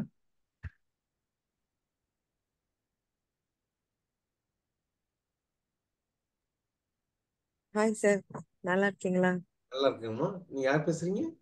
ஷாலினி சார் மல்லி ஷாலினி பேசுறேன். ஓகேங்கம்மா ஓகேங்க சொல்லுங்க. ஐயா நீங்க என்ன சொல்லியிருந்தீங்கன்னா முத ஆஹ், நீங்க வந்து அகத்தை மட்டும் திறந்துட்டீங்கன்னா உங்களோட ஆஹ், செயல் உங்களோட ஃபோக்கஸ் எல்லாம் வந்து வெளியே நோக்கியே இருக்கும். ம். அது வந்து உங்களுக்கான சக்சஸ் மற்ற விஷயங்களை வந்து கொண்டு வரும் அப்படின்னு சொன்னீங்க. அது கொஞ்சம் எக்ஸாம்பிளோட சொல்றீங்களா ஐயா? அது எப்படி சொல்லுங்கிறீங்க? உதாரணத்தோடயா? ஆமா உதாரணத்தோட சொல்றீங்களா? இப்ப நீங்க அகத்தை பொறுத்தவரையிலும் நமக்கு எந்த வேலையும் இல்லை அப்படின்னு திறந்துட்டீங்கன்னா அகத்தை பயன்படுத்திக்கலாம். பட் அதை மெயின்டைன் பண்ற வேலையோ அங்க அதை சரி பண்ணக்கூடிய பொறுப்போ எதுவுமே நமக்கு கிடையாது. இந்த நிலைமையில வந்துட்டு இப்போ வந்து பாத்தீங்கன்னா இப்ப நான் வந்து ஒரு பிசினஸ் பண்றேன். டெக்ஸ்டைல்ஸ் இருக்கேன்னு வச்சுங்களேன் என்னையே எடுத்துக்கிறேன் நான். பின்னனா என்னுடைய நிர்வாகத்துல வந்து பழசெல்லாம் வந்து பாத்தீங்கன்னா ஒரு வேலை ஏதோ டிலே ஆகுது ஏதோ சொதப்பிட்டாங்க அதனால பிரச்சனை ஆகுதுன்னா உள்ளுக்குள்ள வருத்தம் டென்ஷன் டைம் இன்னும் ஒரு பத்து நாள் தான் இருக்கு. பத்து நாளுக்குள்ள இந்த டிஸ்பேட்ச் பண்ணிடணும் அப்படின்னா ஒரு டென்ஷன் ஆகுதுன்னு வச்சுங்களேன் ஓகே அப்ப அப்ப என்ன பண்ணும்? டென்ஷன் ஆகும்னு நம்ம உடனே என்ன தோணும்? டென்ஷனை பத்தி என்ன சொல்லியிருக்காங்க? தொடர்ந்து நம்ம டென்ஷன் ஆகும்போது பதற்றம் ஏற்படும் போது நம்முடைய பிபி ரைஸ் ஆகும். நம்ம உடல் நோய் வரும். நமக்கு வந்து ஒரு கோபம் ஏற்படும் போது நம்ம ரத்த கொதிப்ப பிளட் பிரஷர் ஆகும். உடல் நோய் பாதிக்குன்னு எல்லாம் சொல்லி வச்சுட்டாங்க. அதனால என்ன பண்றோம் வெளியில எது நடந்தாலும் எனக்கு கோபம் வரக்கூடாது. வெளியில எது நடந்தாலும் எனக்கு டென்ஷன் ஆகக்கூடாதுங்கிற முயற்சியில் நம்ம இறங்குறோம். அப்படிப்பட்ட முயற்சி தான் நம்முடைய தியானத்துக்கு கூட்டு போகுது நம்மளை. தியானம் பண்ணுங்க. தியானம் பண்ணி மனதை வடிவமைத்தல். நம்ம வந்து எது நடந்தாலுமே நம்ம வந்து புன்னகையோடும் மனதை அமைதியாகவும் வச்சுக்கணுங்கிறதுக்கான முயற்சியில் இறங்கிடுறோம். இப்படி இறங்குறவர்களும் பார்த்தீங்கன்னா நம்முடைய நீங்கள் முயற்சி சக்ஸஸ் ஆகும். அந்த ஒரு தியானமே பண்ணுறீங்க இல்லை ஒரு முயற்சி எடுக்கிறீங்கன்னா அந்த முயற்சியினுடைய எஃபெக்ட் இருக்கிறவர்களும் சக்ஸஸ் ஆகும். எஃபெக்ட் முடிஞ்சோடனே என்னன்னா நம்ம பழையபடிக்கு டென்ஷன் கோபம் பயம்லாம் வரும். அப்போ நம்ம என்ன நினைக்கிறோம் அப்படின்னா நம்முடைய முயற்சி போதுமான அளவு இல்லை. நம்முடைய தியானத்தை இன்னும் தீவிரப்படுத்தணும். மனதிற்கான பயிற்சி இன்னும் கூட்டணும். மனதை நம்ம இன்னும் வந்து வடிவமைக்கணும். நல்லபடியா கொண்டு போகணுங்கிறதுக்கான முயற்சியை கூட்டிகிட்டே போறோம். இது என்ன ஆகும்னு கேட்டீங்கன்னா ஒரு கட்டத்துல உங்களுக்கு வந்து அப்படி வடிவம் எடுத்துட்டீங்கன்னா கூட ஒரு மோல்டிங்க்கு மனசை வந்து ஒரு வடிவமைத்து வடிவத்தை கொண்டு போயிட்டீங்கன்னா கூட அதனால ஏற்படக்கூடிய உடல் உபாதைகள் இன்னொன்று என்னன்னா நம்ம செயல்படக்கூட முடியாது. மனசு மனசு சுதந்திரமா செயல்படுறதுனாலதான் நமக்கு வந்து எண்ணங்கள் வந்து ஆப்ஷன்ஸ் மாதிரி வருது. ஒரு வேலை செய்யலாம் ஒரு புதுசா ஒரு நமக்கு ஒரு வேலை செய்ய போறோம்னா இந்த வேலையை எப்படி செய்யலாங்கிற ஆப்ஷன்ஸ் மனசை காட்டும். அப்படி ஆப்ஷன்ஸ் காட்டதான் வேலை வேலையே செய்ய முடியும். சரி இதெல்லாம் வந்து புரிதலுக்கு முன்னாடி. இப்போ நம்ம என்ன பண்றோம்? நல்லா புரிஞ்சுக்கிட்டோம். நமக்கு வந்து இப்பயும் நான் பிசினஸ் பண்றேன். இதே சூழல் ஏற்படுது. புரிதலுக்கு முன்னாடி இந்த சூழலே ஏற்படுது. சொதப்பிட்டாங்க. இன்னும் ஒரு வாரத்துக்குள்ள டிஸ்பேச் பண்ணணும். பட் ஒரு வாரத்துக்குள்ள பண்றது ரொம்ப கஷ்டம். பயம் டென்ஷன் எல்லாம் வருது. பட் என்னன்னா இப்ப நம்ம அந்த பயத்தையும் டென்ஷனையும் நிர்வாகம் பண்றதுக்கு பதிலா இது வந்தா எனக்கு பிபி வந்துடும் சுகர் வந்துடும் உடம்பு கெட்டு போயிடுன்னு அங்க பாக்குறதுக்கு பதிலா நம்முடைய கவனம் எப்படி செயல்படணும் என்ன பண்ணணும்னு அந்த பார்த்தீங்கன்னா உங்களுக்கு வந்து டென்ஷன் தான் என்ன பண்ணும்? ஒரு ஒரு விஷய ஒரு டிஸ்பேட்ச் ஒரு வாரத்துக்குள்ள பண்ணணும். அந்த ஒரு வாரத்துக்குள்ள பண்றதுக்கான வேலை என்ன பண்ணணும்? எப்படி சின்ன ஒரு நாங்கள் ஒரு வந்து ஒரு வார்ப்பு அப்படிங்கிறது பார்த்தீங்கன்னா எங்கள் லூம்ஸில் வந்து ரெண்டாயிரம் மீட்டர் வார்ப் போட்டு அதை ஓட்டினாங்கன்னா ஒரு இருபது நாள் பண்ணுவாங்க. ஒரு வாரத்துக்குள்ள பண்ணணுமா என்ன பண்ணலாம் ஐநூறு மீட்டர் நாலு வாரம் போட்டு ஏற்றுறோமோ அதை சீக்கிரம் முடிச்சிடலாம். ஸோ இந்த மாதிரி வேலைகளை எப்படி நம்ம பிரித்து பண்ணுறது வேலைகளை யார்கிட்ட ஒப்படைக்கிறது? அதுக்கான வேஜஸ் கொஞ்சம் சேர்த்து கொடுத்து சீக்கிரம் வேலையை பண்ண முடியுமா? அப்படி செயல் பக்கம் போகும்போது செயல் சக்ஸஸ் ஆகிடும் அப்போ அந்த செயல் பக்கம் அப்படி போகிறதுக்கு காரணமாக இருக்கிறதே நம்ம டென்ஷன் தான். நம்முடைய கவனம் செயல் பக்கம் போகும்போது நமக்குள்ள இருக்கக்கூடிய டென்ஷன் செயலை ஒரு ஊக்குவிக்க நம்ம ஊக்கப்படுத்தக்கூடிய ஒரு புத்தி புத்திசாலித்தனமா செயல்படக்கூடிய செயலுக்கு நமக்கு வந்து நமக்கு ஊக்கப்படுத்திட்டு என்ன பண்ணிடும்? எந்த எண்ணமும் எந்த டென்ஷனுமே நீடிச்சிருக்கிறதே கிடையாது. எப்ப நீங்க வேணாங்கிறீங்களோ அப்பதான் அது நீடிச்சு நிற்கும் எப்ப நீங்க வந்து இதை அப்புறப்படுத்துன்னு நினைக்கிறீங்களோ அப்பதான் அது நிலைச்சு நிற்குது ஸோ நமக்கு அங்க எந்த வேலையும் இல்லாகும் போது அதை பயன்படுத்தி செயலை சிறப்பாக நம்மளால பண்ண முடியும். செயலை சிறப்பாக பண்ணீங்கன்னா என்ன ஆகும்? நீங்க உள்ள நம்ம திறந்துட்டோம். அதை வந்து சரி பண்ண வேண்டிய பொறுப்புல இருந்து திறந்தாச்சு. ஸோ நம்ம செயல் பக்கம் போனீங்கன்னா எல்லா உணர்வுகளுமே செயலை வந்து நமக்கு ஒரு ஊக்கியா செயல்பட்டுட்டு அது காணாம போயிடும். எதுவுமே நிற்க போறதே கிடையாது. சுதந்திரம் கொடுக்கப்பட்ட எல்லா உணர்வுகளுமே தோன்றி மறையக்கூடிய உணர்வுகள் தான். எதுக்கெல்லாம் தடை போடுறீங்களோ அதுதான் நீடிக்கும். ஸோ நாம் வந்து என்னன்னா நம்முடைய வேலை வெளியில் தான். அப்போ அப்படி பண்ணும்போது என்னன்னா நம்ம வந்த டென்ஷனும் உதவிதான் வந்துச்சு. பயமும் உதவிதான் வருது. கோபமும் உதவிக்கு தான் வருது. தேவைன்னா எடுத்து என்ன பண்ணலாம்? நம்ம அப்ளை பண்ணலாம். தேவையில்லைன்னா என்ன பண்ணலாம்? இது இயற்கை தான் எடுத்துக்கிட்டு நம்ம வெளி வேலையில கவனத்தை செலுத்தினா மட்டுமே போதும். அந்த ஒரு விடுபட்ட நிலை அப்படிங்கிறது என்னன்னு கேட்டீங்கன்னா புரிஞ்சுக்கிறது தான் விடுபட்ட நிலை. இந்த விடுபட்ட நிலையை தான் நம்ம துறவுன்னே நம்ம சொல்றோம் அங்க டிட்டாச்சா இருக்கிறோம். அங்க அட்டாச்சு இருந்து டிட்டாச் ஆயிட்டாங்க நம்ம. மன அனுபவங்கள் இருந்து டிட்டாச் ஆயிட்டோம். நம்ம அது நம்ம நம்மளுது என்னுடைய மன அனுபவம் என்னுடைய எண்ணம் என்னுடைய கோபம் என்னுடைய பயமும் போது அங்க பற்றி ஏற்படுது. இது நம்மை அறியாமல் நமக்கு இயற்கையாக வரக்கூடிய ஒரு எண்ண உணர்வுகள் எடுத்துட்டா மட்டுமே போதும். புரியுதா உதாரணம் புரியுதுங்களா உங்களுக்கு?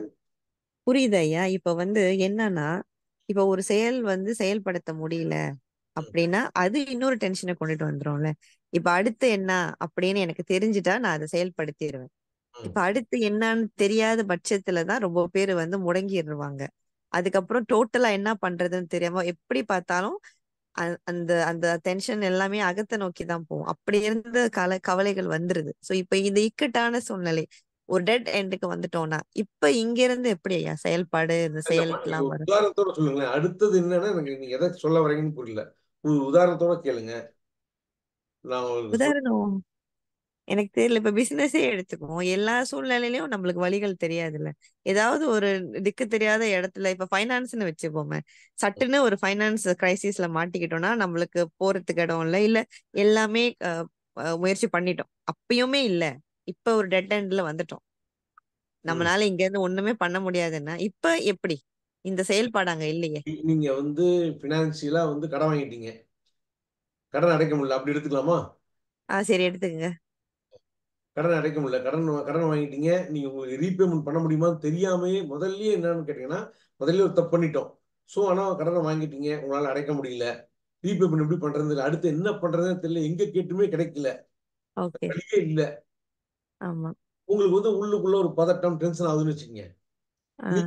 அந்த பதட்டம் டென்ஷன் வரும்போது எப்படியோ அடைச்சாகணுமே. என்ன பண்றதுன்னு பார்க்கும்போது தான் உங்களுக்கு வெளியே என்னென்ன வாய்ப்பு இருக்குதுன்னு பாருங்க. ஒரு ப்ராப்பர்ட்டி இருக்கு விற்கலாமா ப்ராப்பர்ட்டி இல்லைன்னே வச்சுக்கங்களேன். சரி.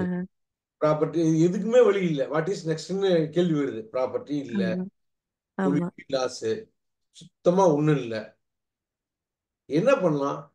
என்கிட்ட எது இல்லைங்கிறதையாவது நம்ம என்ன பண்ணலாம்? வாங்கின கூட என்னால வழியே இல்லை அப்படிங்கறது என்ன பண்ணலாம்? இப்ப நீங்க அப்பதான் வந்து எப்படி அவங்க கிட்ட கன்வே பண்ணா அவங்க புரிஞ்சுக்குவாங்க? நான் மேற்கொண்டு என்ன பண்ண முடியும்? அப்படிங்கிற ஒரு உங்களுடைய ஆலோசனைக்கான வழியே அங்கதான் ஏற்படும். ஓகே. நீங்க ஆனா உள்ளுக்குள்ள எனக்கு இந்த டென்ஷனே வரக்கூடாது. பயப்படக்கூடாது. எனக்கு இப்படி கவலையே வரக்கூடாது அப்படின்னு நினைச்சீங்கன்னா அப்பதான் அது அதிகமாகும். அப்பதான் அங்க வந்து ஒரு முரண்பாடு ஏற்படும். ஏன்னா உங்களுக்கு பயம் வரும்போது நீங்க வேற பயம் வேற இல்ல. இருக்கிறதே பயம்தான் இருக்கு. கோபம் வரும்போது நீங்களும் கோபமும் ஒண்ணுதான். ஆனா பயம் பிடிக்கல பயம் பிடிக்கலங்கும் போது அங்க ரெண்டா டுவல்னஸா மாறுது. ஆமா. அப்பதான் வந்து அந்த போராட்டம் உங்களால செயல்பட முடியாத தன்மைக்கு வந்துடுறீங்க இப்ப நீங்க வந்து பயம் பிடிக்கலன்னா உங்களை தான் குற்றம் சொல்லிக்கிறீங்க. கோபம் பிடிக்கலன்னா உங்களை தான் குற்றம் சொல்லிக்கிறீங்க. உங்களை நீங்க ஃபோக்கஸ் பண்றீங்க. உங்களை ஃபோக்கஸ் பண்ற வரலும் உங்களால வெளியில செயல்படவே முடியாது. ஓகே. இப்ப நீங்க எப்ப வெளியே ஃபோக்கஸ் பண்றீங்களோ அப்பதான் உங்களால உங்களுக்கு ஆலோசனையே கிடைக்கும். இப்ப நீங்க வந்து இப்ப டிரைவ் பண்றது நீங்க. ஓகேங்களா? அப்போ வந்து நீங்க டிரைவ் பண்ணும்போது காருக்குள்ள திரும்பி பார்த்தீங்கன்னா நல்லா ஓட்டுவீங்களா? இல்ல காருக்கு வெளியே பார்த்தீங்கன்னா நல்லா ஓட்டுவீங்களா? காலுக்கு வெளிய வெளிய பார்க்கணும் இப்ப நீங்க வந்து அது மாதிரி எதுவும் ஒரு செயல்படும் போது உள்ள பார்த்து எனக்கு ஏன் அப்படி கோவம் வருது? எனக்கு ஏன் அப்படி பயம் வருதுன்னீங்கன்னா உங்களால வெளியே செயல்படவே முடியாது. ஆமாய்யா. ஒரு டார்ச் லைட் அடிச்சு நீங்க உங்க ஃபேஸுக்கு நேரம் அடிச்சிட்டீங்கன்னா உங்களுக்கு வந்து வெளியே எதுவுமே தெரியாது. உங்க கண்ணுக்கு புலப்படவே படாது உங்க கவனம் கூட தான் அந்த வெளிச்சம்னு வச்சுங்களேன் உங்களை நோக்கியே நீங்க கவனிச்சீங்கன்னா என்ன ஆகும்? உங்களால செயல்படவே முடியாது. உங்க கவனத்தை வெளியே நோக்கி வச்சீங்கன்னா தான் அந்த லைட்டை டார்ச் லைட்டை வெளியே அடிச்சீங்கன்னா தான் எங்க நம்ம செயல்படுறதுக்கு வாய்ப்பு இருக்குதுன்னாவும் தெரியும் நமக்கு. கடன்காரங்கிட்டே போய் கூட நம்ம காலில் விழுந்துடலாமா? வாய்ப்பு வந்து அங்க பாத்தீங்கன்னா தான் கிடைக்கும். ஓகே. ஓகேங்களா? உங்களை உங்களை ஃபோக்கஸ் பண்ற வரை உங்கள் கவனம் உங்கள் மீதே திரும்பும் வரை உங்களுக்கு தீர்வுங்கிறது கிடைக்கவே கிடைக்காது. ஏன் இது வந்து இந்த மாதிரி இந்த கவனம் என் பக்கம் திரும்ப கூடாது அப்படின்னு சொன்னா இது ஒரு மாதிரி ஆக்ஷன் மாதிரி வந்துடுறதா அது இயற்கையா நடக்கிற மாதிரி வராது இல்லையா? இல்ல புரியல புரியல. இல்ல இது இப்ப நீங்க விஷயம் இது. நீங்க என்னன்னா ஆமா ஏய், ஆமா. எனக்குள்ளார எந்த வேலையும் இல்லை நீங்க முடிவெடுத்தா மட்டும் போதும். எனக்கு வந்து நான் என்ன நான் ஃபோக்கஸ் பண்ணக்கூடாது. வெளியே ஃபோக்கஸ் ஆமா.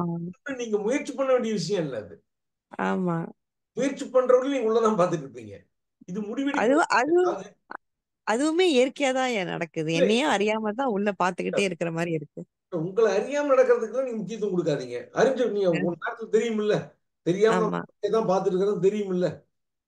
தெரிஞ்ச தெரிஞ்ச விட்டு தான் உங்களுக்கு பொறுப்பே வருது. என்னன்னு நமக்கு வெளியே தான் வேலை இருக்கு. தெரிஞ்ச விட்டு தான் புரிதலே ஸ்டார்ட் ஆகுது. அப்புறம் நமக்கு வெளியே பார்த்தா போதும். தெரியறதுக்கு முன்னாடி உள்ள நீங்க வந்து நீங்களே இங்க இல்லையே. உங்களை அறியாமலாம் நடக்குதுங்க. ஆனா இது ஒரு மாதிரி கண்டினியூஷனா தான் போய்கிட்டே இருக்கு. ஒவ்வொரு வாட்டியும் நான் வந்து சுதாரணைக்கு வர்றதா இருக்கு. ஆனா என்ன பண்றீங்க? நீங்க இதனால தான் தொடர்ந்து நடந்துட்டே இருக்கு. இவ்வளவு தூரம் கில்ட் ஆகுறீங்க நீங்க. கொஞ்ச நேரம் கழிச்சு வெளியே தெரிஞ்ச உடனே என்ன அறியாம நான் உள்ள போயிட்டே இருக்கிறேனே அப்படின்னு கில்ட் ஆகிறதுனால தான் உங்களுக்கு வந்து இது தொடர்ந்து நடந்துட்டே இருக்கு. உங்களை அறியாம நடக்கிறதுக்கு நீங்க பொறுப்பு இல்லைன்னு எப்போ முடிவெடுக்கிறீங்களோ அப்பவே அறிஞ்சு விட்டு வெளியே வேலையை பாருங்க. இப்ப நம்ம நம்ம வீடு இருக்கு. நம்ம வீட்டுக்கு வாசப்படி இருக்குது. ஜன்னல் இருக்குது. அந்த இன்ஜினியர் என்ன பண்ணிட்டாரு? நம்ம வீட்டு ஜன்னலை கூட வாசக்கால் மாதிரியே டிசைன் பண்ணிட்டாரு. நீங்க என்ன பண்ணிட்டீங்க? இது ஒரு வாசக்கால் தான். இந்த வழியா வெளியே போனாலும் ரொம்ப நாள் முயற்சி பண்ணிட்டீங்க. கொஞ்ச நாள் கழிச்சு உங்களுக்கு தெரியுது. இது வாசக்கால் இல்லை இது ஜன்னல் தான். இது வழியா வெளியே போக முடியாது தெரிஞ்சிச்சுன்னு வச்சுக்கோங்க. நீங்க சொல்லிக்குவீங்களா அடிக்கடி? இது ஜன்னல் தான் அந்த பக்கம் போக மாட்டேன் அப்படின்னு சொல்லிக்குவீங்களா? இல்ல இல்ல ஐயா. எப்ப அது ஜன்னல்னு புரிஞ்சுக்கிட்டீங்களோ அப்ப அந்த பக்கம் நீங்க முயற்சியே பண்ண மாட்டீங்க தானே? ஆமா கண்டிப்பா. அது மாதிரிதான் மனசுல வரக்கூடிய எண்ணங்கள் உணர்வுகள் எதுவுமே நமக்கு கட்டுப்பட்டது அல்ல அது தாமா வரக்கூடியதுன்னு எப்ப நீங்க புரிஞ்சுக்கிறீங்களோ புரிஞ்சுக்கிட்ட கணத்திலே நீங்க வெளியே வந்துருவீங்க. புரியுதுங்களா? அதை இதை மறந்துட்டு உள்ள போனா கூட அங்க வந்து உங்களை அறியாம நடக்கக்கூடிய நிகழ்வா எடுத்துக்குவீங்க. அறிஞ்சு விட்டு வெளியே தான் பார்ப்பீங்க. அது நீங்க மட்டும் உள்ள போக கூடாதுங்கிறதுக்கு எந்த பயிற்சியும் தேவையில்ல. நீங்க அதை ஓகே மனப்பாடம் வைக்கணுங்கிற அவசியமும் இல்லை. அதை தக்க வச்சுக்கணுங்கிற அவசியமும் கிடையாது. இது ஜன்னல்னு புரிஞ்சா போதும் இல்ல நம்ம கதவுல பண்ற பயிற்சி பண்ண மாட்டோம் தானே? பண்ண மாட்டோம். அது மாதிரி நீங்க புரிஞ்சுக்கிட்டா மட்டுமே போதும். துறவுங்கிறது தன்னால வந்துடும் துறவை நீங்க முயற்சி பண்ணி கொண்டு வர வேண்டிய அவசியமே இல்லை. வேலை இந்த இடத்துல வேலையே இல்லாத இடம். இது ஒரு நிழல் மாதிரி. அப்படிங்கறத நீங்க எப்ப புரிஞ்சுக்கிறீங்களோ அப்பவே துறவுங்கிறது அங்க ஏற்படும்.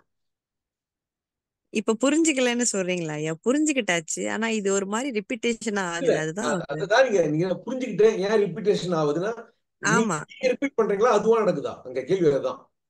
ஓகே இது வந்து சரியா டிஸ்டிங் பண்ண முடியல. அதுவாவும் நடக்குது. நானாவும் பண்றேன். நீங்களா பண்றீங்கன்னா பண்ணாதீங்க. நீங்க தானே பண்றீங்க. அதுக்கு பொறுப்பு நீங்க தான் அதுவா நடக்குதுன்னா அதுக்கு நம்ம பொறுப்பே இல்லையே. நடந்துட்டு போகட்டும். ஓகே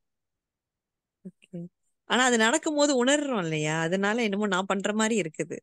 இல்லைங்க நடந்து நடக்கும் போது எப்ப நீங்க பண்ற மாதிரி தெரியுதோ அப்ப நீங்க வெளியே வந்துருங்க.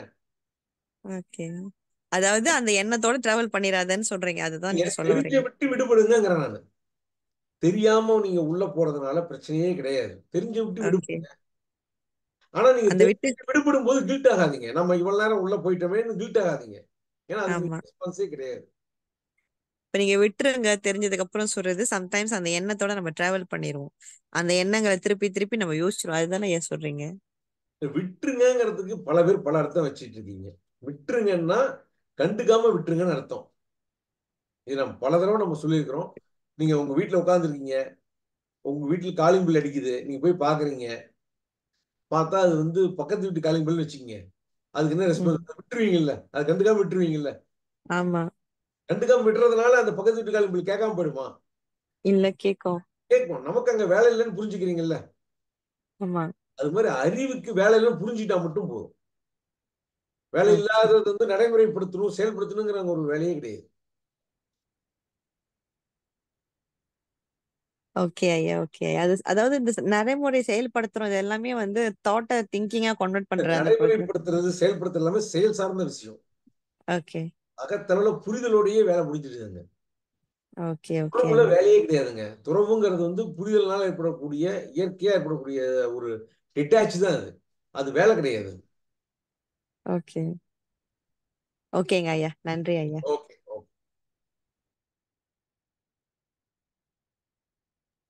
கார்த்திக் சார் சொல்லுங்க.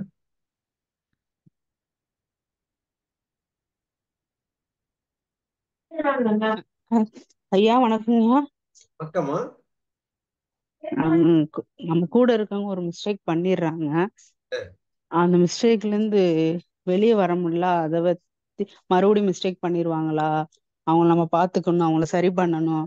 இப்படியே யோசிச்சு யோசிச்சு நான் ரொம்ப டவுன் ஆயிடுறேன் வெயிட் லாஸ் ஆகி வீட்டில் குழந்தைகளும் பார்த்துக்க முடியல. என்னோட வேலைகளும் சரியா பண்ண முடியல. அவங்க நடந்துக்கிற விதத்தை பார்த்து மறுபடியும் மிஸ்டேக் பண்றாங்களோ? அந்த மாதிரி கஷ்டம் வருது. நான் உட்காந்து அழுதுட்டு இருக்கேன். ரொம்ப நான் டவுன் ஆகிறேன் இதுக்கு என்னதான் முடியும்னு தெரியல. அவங்கள கிட்ட நான் ஒண்ணுமே பண்ணல. எதுவும் செய்யல. நான் கரெக்டா தான் இருக்கேன் அப்படின்றாங்க. அது என்ன முழுசா நான் இன்னும் ஏத்துக்க முடியாம சூழ்நிலை இருக்கேன்.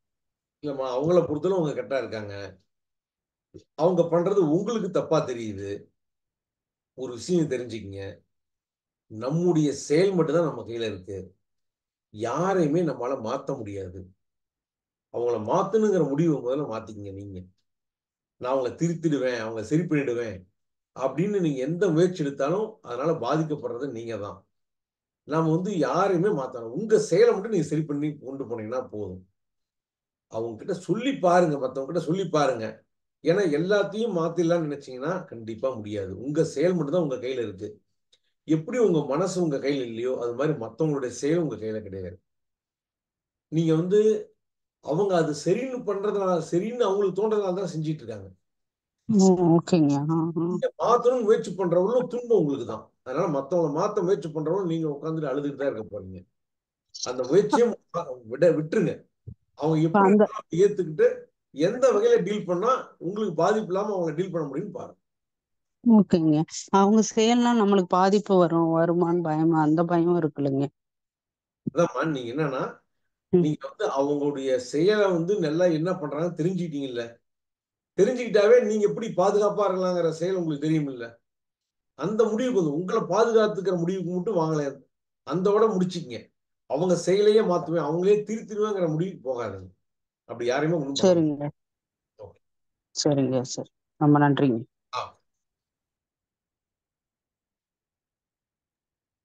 கீதா மேடம் சொல்லுங்க. நமஸ்காரம் அண்ணா. ஜீவமணி அண்ணா. நமஸ்காரம்.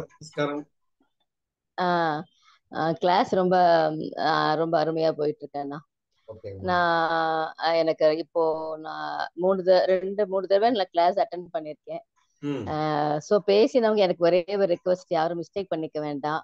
ஏன்னா எனக்கும் இதே மாதிரி டவுட்ஸ் நிறைய இருந்தது அண்ணா. இப்போ நீங்க டவுட்டை ஆ, கிளியர் பண்ண அதனால அதனால கிளாஸ் வந்து என்ன ரெக்வஸ்ட்னா எல்லாரும் கிளாஸ் வந்து கட்டாயம் அட்டன் பண்ணினா இது நல்ல ஒரு கிளாரிட்டி வரும்னு அதை நான் ஷேர் பண்றதுக்காக தான் நான் வந்தேன் நான் ஏன்னா எனக்கு அது அது ஒண்ணு ஃபர்ஸ்ட் இவங்க சரோஜா மேடம் பேசினாங்க ஷாலினி மேடம்லாம் பேசினாங்க இல்லையா? இதுல என்ன ஒரு முக்கியமான விஷயம் அப்படின்னா நான் கிளாஸ் மூணு தடவை அட்டன் பண்ணினதுனால எனக்கு ஒரு கிளாரிட்டி கிடைச்சது. அதுல என்னோட அனுபவம் என்னன்னா இந்த மாதிரி பிரச்சனைகள் வந்து நம்ம வீட்டுக்குள்ள இருக்க மனுஷால் வெளியே இருக்க மனுஷால் எல்லாருமே வந்து நம்மள குத்த குத்துற மாதிரி தான் பேசுவாங்க. நமக்கு பிடிச்ச மாதிரி யாரும் பேச மாட்டாங்க. நம்ம வந்து அதை அதை வந்து எதிர்பார்க்க கூடாது. உள்ள தாட்ஸ் வந்து எல்லாத்துக்கும் வந்துகிட்டே தான் இருக்கு. கோபம் கஷ்டம் துன்பம் எல்லாம் வரும் பொழுது ஆஹ் அதை நம்ம எப்படி பார்க்கணும்னா அது அந்த நேரம் வந்து அந்த எமோஷன் கேரி பண்ணுவோம். அது நம்ம அவாய்ட் பண்ண முடியாது. அது அப்படிதான் இருக்கும். பட் அடுத்த சில சனங்கள்ல ஒரு ஒன் டேக்குள்ளவோ ஹாஃப் டேக்குள்ளவோ டூ ஹவர்ஸ்க்குள்ளவோ அது உடனே வேற ஒரு இது வரும்போது இது சப்சைட் ஆயிடும். அப்படி நம்ம கேரி பண்ணோம் அப்படின்னா அது நம்ம ஹெல்த்துக்கு அது ரொம்ப கெடுதல் அப்படின்னு அவங்க நினைச்சாங்க அப்படின்னாலே அவங்க இதை மெதுவா கிளாஸ் அழகா புரிஞ்சுக்க ஆரம்பிச்சிடுவாங்க. ஆஹ் அந்த கஷ்டத்தை வந்து நம்ம கேரி பண்ணிட்டே இருக்க இருக்க என்ன ஆகுதுன்னா நம்ம ஹாப்பினஸ் வந்து ஒவ்வொரு சனமும் எழுந்துட்டே இருக்கும். நம்மளுடைய நம்ம வெளியே பண்ற செயல் எல்லாமே வந்து இது ப்ரொடக்டிவிட்டி நல்லா இருக்காது. ஸோ நம்மளை சுத்தி இருக்க மனுஷாலும் எல்லாரும் கஷ்டப்படுவாங்க. மெயின் நம்ம ஹெல்த் ஸ்பாயில் ஆகுறது நம்ம நல்லா ஃபீல் பண்ண முடியும். அந்த எமோஷன்ஸை கேரி பண்ணும்போது ஒரு நெகட்டிவ் எனர்ஜி பாடியில அப்படியே வைப்ரேஷன் தெரியும். பாடியில வரும்போது ஃபர்ஸ்ட் மனசுல வரும். மனசுல வரும்போது அப்புறம் அது பாடியில அப்படியே போறது தெரியும். நம்ம எனர்ஜி ஃபுல்லா டவுன் ஆயிடும். ஸோ இது ஒண்ணு எல்லாம் புரிஞ்சுட்டாங்கன்னா டெஃபினட்டா வந்து எந்த ஒரு கஷ்டம் நம்மளை சுத்தி நடந்தாலும் சரி இது இப்படிதான் வரும். நம்ம இந்த டைம்ல கோவப்படுறோமா? ரைட்டு இது கொஞ்ச நேரம் இருக்கும் சரியா போயிடும். அப்படின்னு நினைச்சிட்டாங்க. நம்ம ஹெல்த்துக்காக நம்ம நல்லா இருக்கணும்னு ஒரு சுயநலமா இருந்தா கூட அவங்க இந்த கிளாஸை நல்லா புரிஞ்சுட்டு நல்லா வெளியே வர்றதுக்கு இது ரொம்ப ஹெல்ப்ஃபுல்லா இருக்கும்னு என்னோட ஒப்பீனியன் அண்ணா. தேங்க்யூ பொதுவாக வந்து எல்லாருமே என்னை அறியாமல் நான் பண்ணிக்கிட்டே இருக்கனே அப்படிங்கிறது தான் அந்த இவங்க சாலினி அவங்க கேட்டது அதுதான் கேட்டாங்க. நம்ம அறியாமல் பண்ணுறதுல அந்த நம்ம நம்ம அறிவுக்கு தெரியாமல் பண்ணுறதுக்கு நம்ம பொறுப்பே கிடையாது. முதல்ல நம்ம அதை புரிஞ்சுக்கணும். நம்ம நம்ம வந்து ஒன்ஸ் நான் புரிஞ்சுக்கிட்டேன் இன்னையிலிருந்து நான் ஒரு நிமிஷம் கூட நான் வந்து என்னுடைய தாட்டை வந்து நான் திங்கிங்காக மாற்ற மாட்டேன் அப்படின்னு சொல்ல முடியாது. நம்மளை அறியாமல் பண்ணக்கூடிய திங்கிங் பேர் தான் தாட்டே ஸோ நம்ம என்னன்னு கேட்டீங்கன்னா நமக்கு நமக்கு தெரியாம நம்மளை அறியாம நடக்கிறது எதுக்குமே நம்ம பொறுப்பெடுத்துக்கவே தேவையில்ல. அதுக்கு கில்ட் ஆக வேண்டிய அவசியமே இல்லை. இதைதான் ரொம்ப நம்ம நல்லா புரிஞ்சுக்கணும் நம்ம. நம்ம வந்து அதாவது என்னன்னு கேட்டீங்கன்னா நம்ம இந்த கில்ட்டுங்கிறது தான் மிக மோசமான ஒரு உணர்வு. நம்ம கில்ட்டுனாவே முடிஞ்சு போனது நடந்திருக்க கூடாதுன்னு போராட்டம் தான் கில்ட்டு. இதுக்கு தீர்வே கிடையாது. இது வந்து தொடர்ந்து நம்ம செயல்படா முடி செயல்பட விடாம முடக்கி போட்டுரும் நம்மளை. ஸோ நம்ம வந்து உள்ளுக்குள்ள நம்ம வந்து வேலை இருக்குன்னு நினைச்சோம்னாவே நம்ம வெளியில செயல்பட முடியாம முடங்கிடுவோம். உள்ளுக்குள்ள எப்ப நமக்கு வேலை இல்லைன்னு நம்ம புரிஞ்சுக்கிறோமோ உள்ளுக்குள்ள எப்ப நமக்கு துறவு ஏற்படுதோ அப்பதான் நம்ம வெளியவே செயல்படவே முடியும். அதனால நம்ம எந்த சூழ்நிலையில் நம்ம அறியாமல் நடந்தால் கூட அதுவும் நேச்சர் தான் எடுத்துக்கிட்டு அறிஞ்ச விட்டு நம்ம வெளியே சரியாக பண்ணால் மட்டுமே போதும். நீங்கள் அறிஞ்ச விட்டு வெளியே சரியாக பண்ண பண்ண பண்ண என்ன கேட்டீங்கன்னா அந்த அறியக்கூடிய நேரம்ங்கிறது தன்னாலேயே இது வந்து ஒரு குயிக் டைமாக மாறிடும். ஆரம்பத்தில் அதோட டியூரேஷன் அதிகமாக இருந்தால் கூட போக போக அது அது இது கூட நம்ம முயற்சியெல்லாம் நடக்கலை. தாமாக நடக்கக்கூடிய ஒரு விளைவு தான் இது. ஸோ அறிஞ்ச விட்டு தான் நமக்கு வேலையே இருக்குது அது வெளியே தான் வேலை இருக்கு. உள்ள வேலை இல்லைன்னு புரிஞ்சுட்டா மட்டுமே கேள்வி கேளுங்க. ஓகே. ஜெயந்தி மேடம் நீங்க சொல்லுங்க. அட்மிட் பண்ணி சொல்லுங்க மேம். வீடியோ ஆன் பண்றதுக்கு மியூட்ல வணக்கம் சார். இப்போ எப்போ அந்த ப்ராப்ளம் வருதுன்னா நம்ம மட்டும் அதுக்கு ஒரு செய்ய வேண்டிய வேலைன்னா அது கரெக்டா போயிடுறது வேற ஒருத்தர் இப்ப பிசினஸ்ல இருக்கும்போது அந்த கரெக்டான டயத்துக்கு நம்ம ஆபீஸ் கொண்டு போய் கொடுக்கலன்னா நம்ம அதுக்கு பொறுப்பை எடுத்துக்கிற மாதிரி இருக்கும். அவங்கள யாரும் ஃபோன் பண்ணி கேட்க மாட்டாங்க. நம்மளதான் நம்ம தான் அதுக்கு ஒரு பொறுப்பான ஆளா இருக்கும் அப்ப அந்த மாதிரி சமயத்துல வந்து நம்மள அறியாமையே அது ஒரு என்னடா இவன் இப்படி சொதப்பிட்டான். அப்ப அந்த பசங்க கிட்ட பேசும்போது அவங்க ஒரு irresponsible-ஆ ஒரு பதில் சொல்லுவாங்க பாருங்க. வண்டி பஞ்சர் ஆயிடுச்சு சார் போலீஸ் அது இன்னும் வந்து ஒரு மாதிரி என்ன ஆகுதுன்னா இது நமக்கு நிறைய பேரோட சேர்ந்து ஒரு குரூப் ஆஃப் ஒர்க் இருக்கும்போது ஒரு இடத்துல மிஸ் ஆச்சுன்னா கூட நம்ம என்னதான் நம்ம இப்படி எல்லாம் நம்ம ஷட்டில் பண்ணிட்டா கூட அது நம்மள அறியாம அது எவாபரேட் ஆயிடுது. பாடி வந்து ரியாக்ட் பண்ணிடுது. அது இப்ப மேக்சிமம் இந்த பயிற்சினால அந்த இடைவெளி தான் குறையுமா? ஆமாம்மா. நீங்க உங்களை அறியாமையே ரியாக்ட் பண்ணிடுறீங்கல்ல? ஆமா. பண்றது அறியாம தான் நடக்குது. என்னங்க? கோவம் கோவமா வருது. அவங்க மேல. வருது. நான் உன்னால பதில் சொல்ல வேண்டியிருக்கு பாரு இப்ப என்னன்னா இன்னைக்கு ஒரு புதுசா ஒரு தகவல் தெரிஞ்சுக்கிட்டீங்க. இப்ப என்னன்னா நம்ம அறியாம வரதுக்கு நம்ம பொறுப்பு இல்ல. அது நம்முடைய இயல்புல இருந்து வெளிப்படுதுங்கிறத இப்ப நீங்க புரிஞ்சுக்கிட்டீங்க. இந்த புரிதல் என்ன ஆகும்னு கேட்டீங்கன்னா அடுத்த இதே சூழல் வரும்போது என்ன ஆகும்னா அது வரும். ஆனா நம்மளை அறியாம வந்துச்சுங்கிறது ஒரு கடத்துல தெரிய ஆரம்பிக்கும். தெரிஞ்ச கணத்துல விடுபட்டுட்டு அடுத்து என்ன பண்ணலாம்? லேட் ஆயிடுச்சா? வேற எந்த மாதிரி பண்ணலாம்? அப்படின்னு பிளான் பண்ணுவீங்க. செயல் ரீதியா என்ன பண்ணலாம்னு பிளான் பண்ணுவீங்க? இப்ப வந்து இப்ப இது புரிஞ்சு இந்த புதுசா புரிஞ்சுக்கிட்டீங்க. என்ன புரிஞ்சுக்கிட்டீங்க? நம்ம அறியாம நடக்கிறது நம்ம பொறுப்பு இல்லை. அது அப்படிதான் நம்முடைய இயல்புல இருந்து வெளிப்படுது. ஒரு சூழ்நிலையை சந்திக்கும் போது அந்த சூழ்நிலைக்கு தகுந்த இயல்பு நம்முடைய இயல்புக்கு தகுந்த மாதிரி எனர்ஜி வெளிப்படுது. டென்ஷனாவோ கோபமாவோ புலம்பலா கூட வெளிப்படலாம். இப்படி பண்ணிட்டானே ஏதோ ஒரு ரீசன் சொல்றானே அப்படின்னு வெளிப்படலாம். இவங்களை அறியாம வெளிப்படுறது எல்லாத்துக்குமே ஓகே கொடுத்துருங்க. நீங்க அடுத்த இப்ப நம்ம புதுசா விஷயம் தெரிஞ்சிட்டீங்கல்ல அடுத்தவங்களை அறியும் சீக்கிரமா தெரிஞ்சுக்குவீங்க. அப்படின்னா இந்த புலம்பல் விட்டுட்டு அடுத்து நம்ம என்ன பண்ணலாம் அப்படின்னு பார்ப்பேன். முன்னாடியே என்ன பண்ணலாம்? இதுக்கு வந்து அவனை எங்கெங்க ஃபாலோ பண்ணணும்? அவன் லேட் பண்றான்னு சொல்றான்ல எப்பப்போ நம்ம ஃபாலோ பண்ணா கரெக்டா இருக்கும்? அப்போ ஃபாலோ பண்றவங்களுக்கு ஒருத்தர் வைக்கலாம் அப்படின்னு பிளான் பண்ணுவீங்க. நீங்க செயல் ரீதியா சிந்தனை பண்ணும்போது உங்களுக்கு புது புது ஐடியா கிடைக்கும். நீங்க அகரீதியா சிந்தனை பண்ணும்போது உங்களுக்கு குழப்பமும் போராட்டமும் தான் ஏற்படும். ஸோ உங்களை இப்போ நீங்க உங்களை அறியாம தான் புலம்புனீங்க. போராடிட்டீங்க கோவம் வந்துச்சு. அடுத்த தடவை பாருங்க அறியாம போராடுற போராட்டத்தினுடைய அளவு கம்மியா இருக்கும். அதுக்கடுத்து பார்த்தீங்கன்னா அதோட கம்மியா இருக்கும். நீங்க அதை அளவு பண்ணுங்க அதுக்காக கில்ட் கூட ஆகாதீங்க. நீங்க நாளுக்கு நாள் பாத்தீங்கன்னா ஒரு குறிப்பிட்ட கட்டத்துல என்ன ஆகும்னு கேட்டீங்கன்னா உங்களுக்கு வந்த சனமே உங்களுக்கு மாறிடும் நீங்க. உங்க செயலை நீங்கள் மாற்ற மாற்ற உங்க இயல்புகள் தன்னால மாறிட்டு இருக்கு. இயல்பு நம்ம நேரடியாக போய் மாற்ற முடியாது. நீங்க செயலை அடுத்து என்ன பண்ணணும்? ஸோ இப்படி சொதப்புறானா இப்படி போய் பேசுறானா? சரி அப்போ வந்து எப்பப்போ ஃபாலோ பண்ணணும்? இப்படி லேட் பண்றவனுக்கு என்ன பனிஷ்மெண்ட் கொடுக்கணும்? இல்ல வேற என்ன மாதிரி பண்ணலாம்? அப்படிங்கிற ஐடியாக்கள் உங்களுக்கு புது புது ஐடியாக்கள் கிடைக்கும். யார் வந்து செயல் ரீதியா திங்க் பண்றாங்களோ அவங்களுக்கு புது புது ஐடியாக்கள் கிடைக்கும். யார் வந்து மன ரீதியா திங்க் பண்றாங்களோ அவங்களுக்கு புது புது குழப்பங்களும் டென்ஷன் எமோஷனலா இருக்கக்கூடாது. கண்டிப்பா.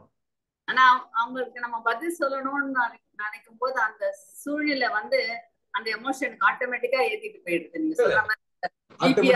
எல்லாமே சுதந்திரம் கொடுத்துருங்க. அது இயற்கை தான் எடுத்துக்கங்க உங்களை ஒருத்தன் கேள்வி கேட்கறாங்க டைமிங் நீ கொடுக்கலையே? உங்களை கேள்வி கேட்கும்போது தான் உங்களுக்கு டென்ஷன் கோபம் எல்லாம் வரும். அப்ப என்ன பண்ணுவீங்கன்னா டென்ஷன் கோபம்லாம் வந்தாதான் அடுத்த தடவை இந்த மாதிரி லேட் ஆகாம இருக்கிறதுக்கு என்ன பண்ணலாம்னு யோசனை பண்ணுவீங்க.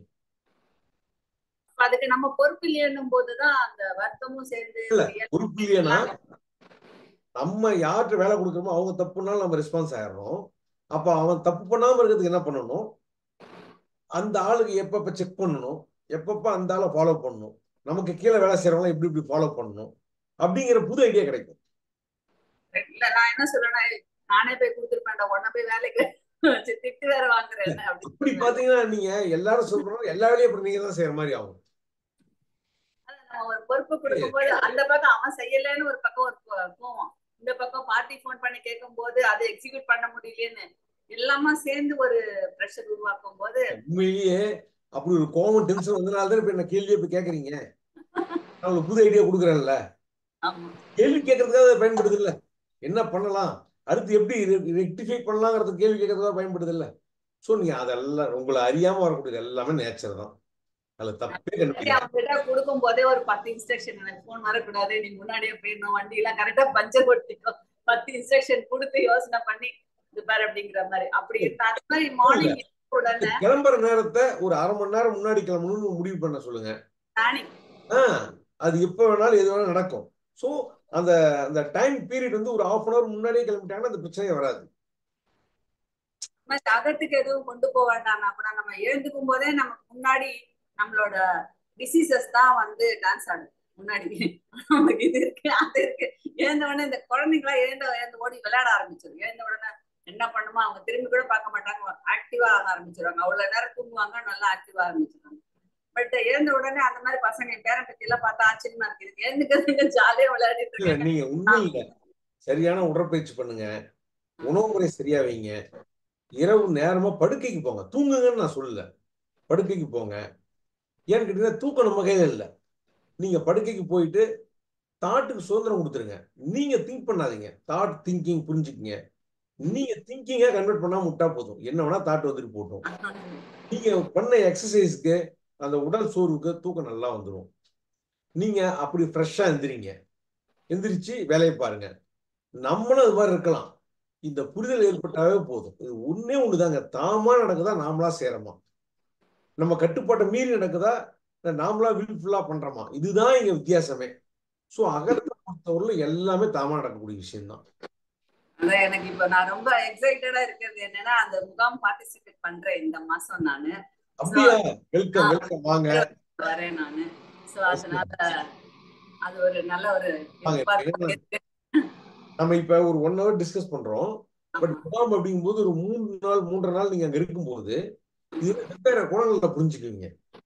ஒருத்தங்க சொன்னாங்க இப்ப நான் ரெண்டு மூணு வாட்டி அட்டன் பண்ணினேன் எனக்கு நல்ல வைடா இருக்கு அது அப்படின்றாங்க. அந்த மாதிரி அத பல வாட்டி அது அதுவும் சொல்லணும் ஆசைப்பட்டேன் வெல்கம் வெல்கம் மேடம் வாங்க.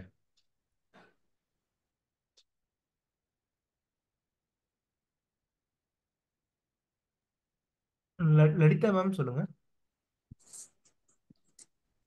ஐயா வணக்கம் ஐயா. வணக்கம்மா வணக்கம். சொல்லுங்க. ஐயா எனக்கு ஒரு டவுட்டு அது என்னன்னா எனக்கு வந்து கொஞ்சம் இயற்கையிலேயே சின்ன வயசுல இருந்து கொஞ்சம் பயந்த சுபாவம். ம். வீட்ல வளர்த்துனது அது எல்லாமே நான் கொஞ்சம் பயந்த சுபாவமாவே தான் இருப்பேன். எதை பார்த்தாலும் ஒரு பயம். அந்த மாதிரி ஒரு பயந்த சுபாவத்துல தான் இருக்கேன். அ- அப்படிதான் இருந்தேன். அதுக்கப்புறம் கொஞ்சம் என்னோட பாஸ்ட்ல வந்து ஒரு மாதிரி பேட் சுச்சுவேஷன் தங்கச்சி கோமா ஸ்டேஜுக்கு போயிடுச்சு. ரொம்ப ஒரு மாதிரி பயங்கர டிப்ரெஸ் ஆயிட்டேன். அதனால வந்து எனக்கு இந்த ஹாஸ்பிட்டலைசிங் அப்புறம் எனக்கு ரொம்ப ஹெல்த் இஷ்யூஸ் வந்துருச்சு.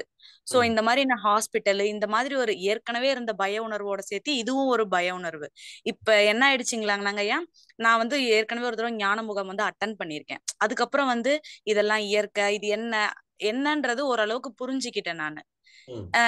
அதுக்கப்புறமும் இப்ப என்னன்னா ஒரு சின்ன விஷயம் ஒரு எக்ஸாம்பிள் சொல்றேன் அது காமெடியா கூட இருக்கும். எனக்கு இப்போ எங்க வீட்ல ரெண்டு கதவு இருக்கு. இந்த கதவு முன்னாடி கதவு ஒண்ணு சைடு கதவு ஒண்ணு. காத்து எந்த சைடு வந்தாலும் டம்மு டம்முன்னு அடிச்சு மூடிரும். சோ எங்க வீட்ல எல்லாரும் உட்காந்துருப்பாங்க எனக்கு மட்டும் அது திடீர்னு ஒரு உணர்வு படபட பட பட படன்னு தலை வரைக்கும் எனக்கு அந்த டென்ஷன் ஆகும்.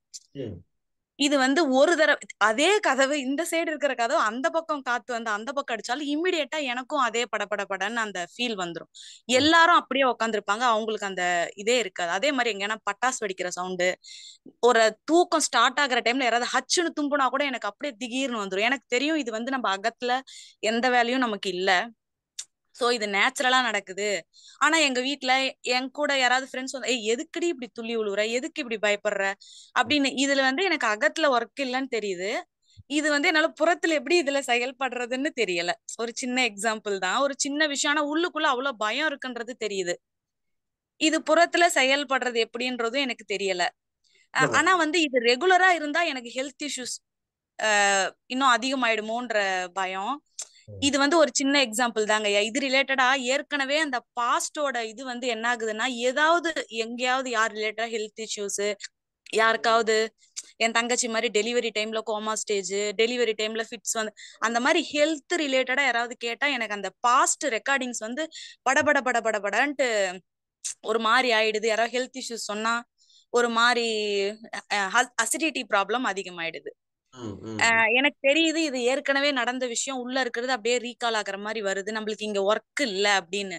இது வந்து எப்படி நான் வந்து செயல்ல வேற மாதிரி மாத்துறது? இந்த மாதிரி ஒரு ஒரு எக்ஸாம்பிள் வந்து அந்த காத்துல கதவு அடிக்கிற சவுண்டு ஹச்சுன்னு தும்புற சவுண்டு இதுக்கெல்லாம் நான் எப்படிங்க எனக்கு சொல்யூஷன் ஏதாவது கிடைக்கும்? நீங்க சின்ன வயசுல அந்த பாதிப்பு ஏற்பட்டதுனால அந்த கோமாவுக்கு போனதுனால டெலிவரி சமயத்துல இதெல்லாம் ஒண்ணா சேர்ந்து அதனால ஏற்பட்டக்கூடிய உங்களுக்கு பாதிப்பெல்லாம் ஒண்ணா சேர்ந்து அந்த சூழல் வந்தாவோ திடுதிப்புன்னு ஒரு சத்தம் கேட்டாவோ படபடப்பு ஒரு டென்ஷன் உடல் நடுக்கம் இதெல்லாம் வந்துடுது கரெக்டுங்களா இது வந்து இது வந்து நீங்க தெரிஞ்சுக்கிட்டீங்க. என்ன தெரிஞ்சுக்கிட்டீங்க? இந்த உள்ளுக்குள்ள ஒண்ணும் பண்ண முடியாது. தெரிஞ்சுக்கிட்டீங்க. தெரிஞ்சுக்கிட்டதுனால இதுல இருந்து விடுபட முடியல. கரெக்டுங்களா உங்க கேள்வி. ஆமாங்க ஐயா. இது தெரிஞ்சுக்கிட்டேன். ஆனா வந்து அஹ் இப்போ இந்த மாதிரி சுச்சுவேஷனுக்கு நான் செயல்ல எப்படி பண்றதுன்னு தெரியல. ஆஹ் சரி அப்ப இது அகத்துல ஒ- ஒண்ணுமே பண்ண முடியாது. இது அப்படிதான் நான் விட்டுட்டாலும் இது தொடர்ந்து எனக்கு இந்த மாதிரி சூழ்நிலை வரும்போது எனக்கு அஹ், மறைமுகமா அந்த தலை படபடன்னு வலிக்கிறது யாராவது ஹெல்த் இஷ்யூ சொன்னா உடனே கை கால் வெட வெடன்னு ஆகுறது அது எல்லாமே எனக்கு நினைவுக்கு கொண்டு வருது. ஏன்னா என் தங்கச்சி ஒரு த்ரீ மந்த்ஸ் ஹாஸ்பிட்டல்ல இருக்கும்போது ஒவ்வொரு நாளும் டாக்டர்ஸ் இன்னைக்கா நாளைக்குன்னு ரிசல்ட் சொல்ற மாதிரி இன்னைக்கு எதா ஆயிடுமா நாளைக்கு எதா ஆயிடுமா ஆக்சுவலா இப்ப சிக்ஸ் இயர்ஸ் ஆயிடுச்சுங்க சார் சிக்ஸ் இயர்ஸ் வரைக்கும் தங்கச்சி அப்படி கோமால இருந்தாலும் அப்படியே நாங்க பாத்துட்டு இருக்கோம். ஆனா அந்த டைம்ல என்ன ஆயிடுச்சுன்னா என்னங்க சார் இல்ல இல்ல இல்ல. சிக்ஸ் இயர்ஸ் ஆயிடுச்சு. ஆனா அப்படிதான் இருக்கா. இன்னைக்கா நாளைக்கு இது என்னங்க சார் இது ரேர் கேஸா இருக்கு இந்த மாதிரி ஆகுமா? இந்த மாதிரி நான் கேள்விப்பட்டதே இல்லை அதனால கேக்குறேன். சார் நம்ம சேலம்ல வந்து விஜயா நர்சிங் ஹோம் தெரியுங்களா? அந்த ராமகிருஷ்ணா ஆமா. அங்கதான் தங்கச்சிக்கு டெலிவரி ஆச்சு. ஆபரேஷன் பண்ணி அந்த மாதிரி தங்கச்சிக்கு ஆயிடுச்சு. அப்புறம் சிம்ஸ் செல்லம் சேலம்ல தான் பார்த்தோம். அங்க இருந்து ட்ரைகாஸ்டிமா அதெல்லாம் பண்ணிட்டு அப்புறம் சென்ட் ஜான்ஸ் கொண்டு போய் அங்க ஒரு நியர்லி த்ரீ மந்த் வரைக்கும் ஒரு ஐசியூல இருந்து ரொம்ப அந்த கேர் இந்த கேர் லாஸ்ட் பிசியோதெரப்பி கேர் வரைக்கும் கூட்டிட்டு வந்து அந்த ஒரு காலகட்டத்துல எல்லாம் எனக்கு இன்னைக்கு என்ன நடக்கும் நாளைக்கு என்ன நடக்கும் மணி ரிலேட்டட் அந்த மாதிரி ரொம்ப ரொம்ப ரொம்ப டிப்ரெஸ்ட் ஆயிட்டேன் சார் நானு. அதனால வந்து யாராவது ஹெல்த் டெலிவரி டைம் அந்த மாதிரிலாம் இருக்கும்போது பத்திரமா இருங்க பாத்துருங்க பாத்துக்கோங்க. அந்த மாதிரி நல்ல ஹாஸ்பிட்டல் பாருங்க. அப்படியெல்லாம் வந்து யாருக்கா டெலிவரி அந்த மாதிரி விஷயம். இப்ப எனக்கு வந்து இன்னொரு குழந்தைன்னு எங்க வீட்ல சொன்னா கூட எனக்கு அந்த ஞாபகம். இன்னொரு தங்கச்சி இருக்கு. அவளுக்கு இப்பதான் மேரேஜ் ஆச்சு. அவள் நல்லா இருக்கணும். அவளுக்கு டெலிவரி டைம் கரெக்டா இருக்கணும். அந்த மாதிரி எப்படியும் நம்ம யாராவது ஒருத்தர் பாக்குறோம் கன்சீவா இருக்காங்க. அப்படியே மைண்ட் செட் தங்கச்சி மேல போகுது. அவங்க நல்லபடியா வரணும். முன்ன பின்ன தெரியாதவங்க கூட நல்லபடியா குழந்தை பிறந்துருச்சா நல்லா இருக்காங்களா அப்படின்ற அளவுக்கு மைண்ட் வந்து அந்த பாதிக்கப்பட்டதுனால அந்த மாதிரி அப்புறம் எனக்கும் ரொம்ப ஹெல்த் இஷ்யூஸ் ஆயிடுச்சுங்க சார் நானும் வந்து ஆல்மோஸ்ட் சாகர ஸ்டேஜ் தாண்டி நான் இப்ப வந்துட்டேன். எல்லாமே என்னோட அந்த பயம் பதட்டம் ஃபுல்லா நெகட்டிவ் இமோஷன் டிப்ரெஷன் அந்த லெவல்ல இருந்ததுனால தான் எனக்கு இப்படி ஆச்சு. இப்ப வந்து எனக்கு இந்த ஞான முகாம் அட்டன் பண்றேன். நிறைய கிளாஸஸ் என்னென்னு தேடி தேடி ஒவ்வொன்றா கத்துக்கிறேன் நான். புரிஞ்சுக்கிறேன். லைஃப்ல வந்து இப்படிதான் நடக்கும். சம்டைம்ஸ் அந்த மாதிரிலாம் நான் தெரிஞ்சுக்கிறேன். ஏ- ஒரு இதா கேட்கணும்னா இது வந்து அகத்துல எனக்கு எந்த வேலையும் கிடையாது. எனக்கு ஏற்கனவே நடந்த விஷயம் தான் எனக்கு ஒவ்வொரு டைமும் அந்த தானா வெளிப்படுது. நான் எவ்வளவோ ஹீல் பண்ணிக்கிறேன். ஆனாலும் யாராவது ஏதாவது ரிலேட்டடா சொல்லும் போது அந்த திக்குன்ற உணர்வு படபடம் அதான் சொல்றேன் சார் அரை தூக்கத்துல கண்ணை மூடுவேன். ஹச்சுன்னு எங்க வீட்டுல தும்பிட்டா அப்படியே தலை வரைக்கும் ஷாக் அடிக்கிற மாதிரி எனக்கு ஆகுது. சோ எனக்கு அந்த அளவுக்கு அந்த பட்டாசு கொளுத்துனா கூட ஏன்னா ஆல்ரெடி நான் சின்ன வயசுல இருந்து பயந்த சுபாவம். பட்டாசுனா கூட ஓடிடுவேன். இப்ப என்ன ஆயிடுச்சுன்னா இந்த சுச்சுவேஷன் எல்லாமே சேர்ந்து ஒரு பயந்த எக்ஸ்ட்ரீம் பயந்த சுபாவம் மாதிரி ஆயிட்டேன். பட் தெளிவு இருக்கு. ஆஹ் அறிவுல அறிவு வந்து நம்மளுக்கு அங்க எந்த ஒர்க்கும் கிடையாது. சோ அப்படிதான் இருக்கும். சரியா போயிடும் சரியா போயிடும் சொல்லிட்டு நானா என்னை இது பண்ணிட்டே வரேன். இதுக்கு வந்து சொல்யூஷன் வந்து நான் அந்த மைண்ட்ல இருந்தே அந்த இது கிளியர் ஆகுறதுக்கு ஏதாவது ஒரு டே பை டே நான் அப்படி எதுவும் ஒர்க் இல்ல இல்லன்னு நினைக்க நினைக்க அது அப்படியே போயிடுங்களா? இல்ல ஒரு நிமிஷமா உங்க கேள்வி முடிச்சிட்டீங்க. இப்ப பாத்தீங்கன்னா ஒரு ஒரு லட்சம் டெலிவரி ஆகுதுன்னு வச்சுக்கோங்க. குழந்தை பிறகு இங்கே ஒண்ணு இது மாதிரி நடக்குது. ஆனா நம்ம அந்த அந்த உன்னைதான் பிடிச்சிக்கிறோமே தவிர இந்த ஒரு லட்சத்து அதாவது மீதி இருக்கிற அந்த ஒரு லட்சம் அந்த உன்னை தவிர மீதி இருக்கிறத பிடிக்கிறதே கிடையாது. எப்பவுமே இந்த மைண்ட் வந்து பாத்தீங்கன்னா பாசிட்டிவ் எல்லாமே விட்டுரும். நெகட்டிவ் தான் பிடிச்சி வச்சுக்கும். அது அப்படி எப்படின்னா பிடிச்சி வச்சுட்டு போட்டோம். இப்ப நீங்க புரிஞ்சுக்கிட்டீங்க என்னன்னா நம்ம அகத்துல எந்த வேலையும் இல்ல. அது அப்படிதான் பதட்டம் இதான் வரும் புரிஞ்சுக்கிட்டீங்க.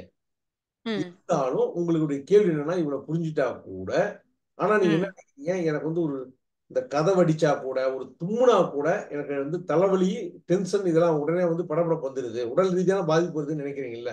அது என்னன்னாங்க சார் எனக்கு யாராவது ஹெல்த் ரிலேட்டடா பேசினா உடனே எனக்கு என்னோட ஹெல்த் ரிலேட்டட் தங்கச்சி ரிலேட்டடு அந்த மாதிரி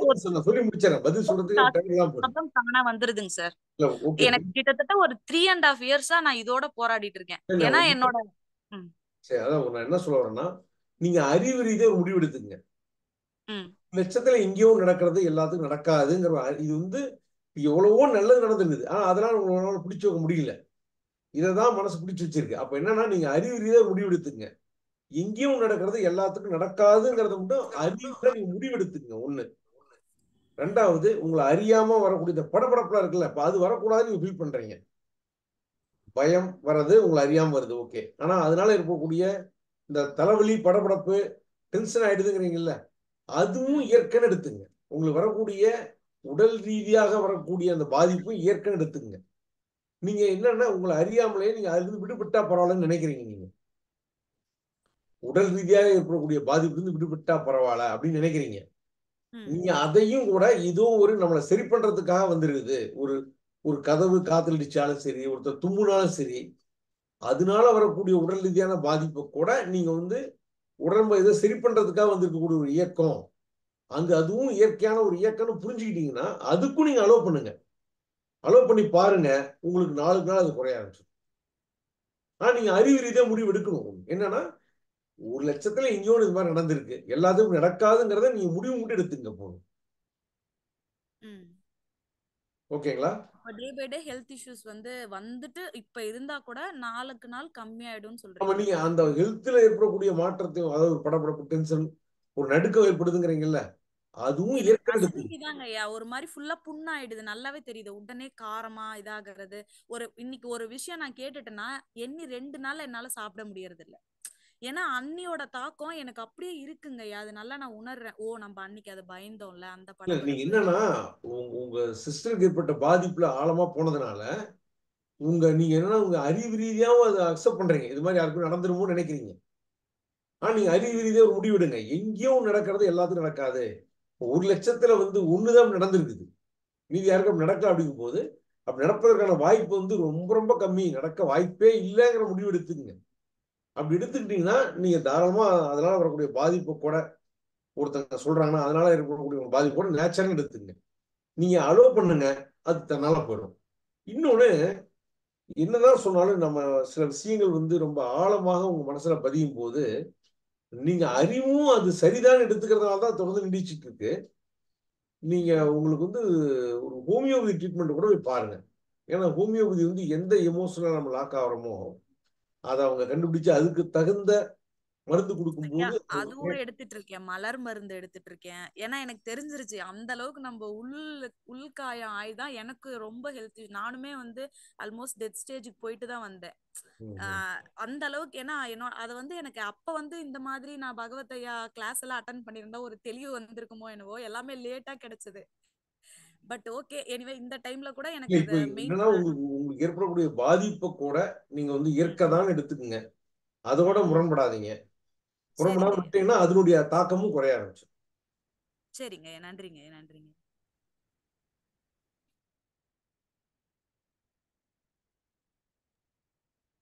ரஞ்சினி மேம் நீங்க சொல்லுங்க.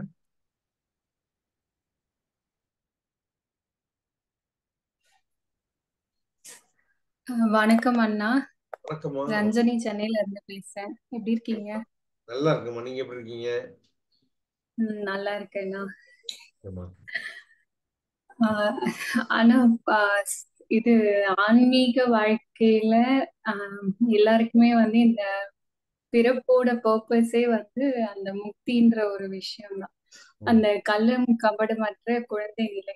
நம்ம எங்க ஸ்டார்ட் ஆனோமோ அங்கேயும் முடிக்கிறது தான் வந்து ஆஹ் இதுன்னு சொல்லிட்டு நல்லா புரியுதுன்னா ஆஹ் இப்போ எப்படின்னா வந்து ரம் ஆஹ் பகவத் ஐயா ரமண மகரிஷி அவங்க எல்லாம் ஃபாலோ பண்ணிட்டு இருக்கேன் அவங்களோட க ஆஹ் கருத்துக்கள்லாம் வந்து ரொம்பவுமே வந்து உதவிகரமா இருந்திருக்கு.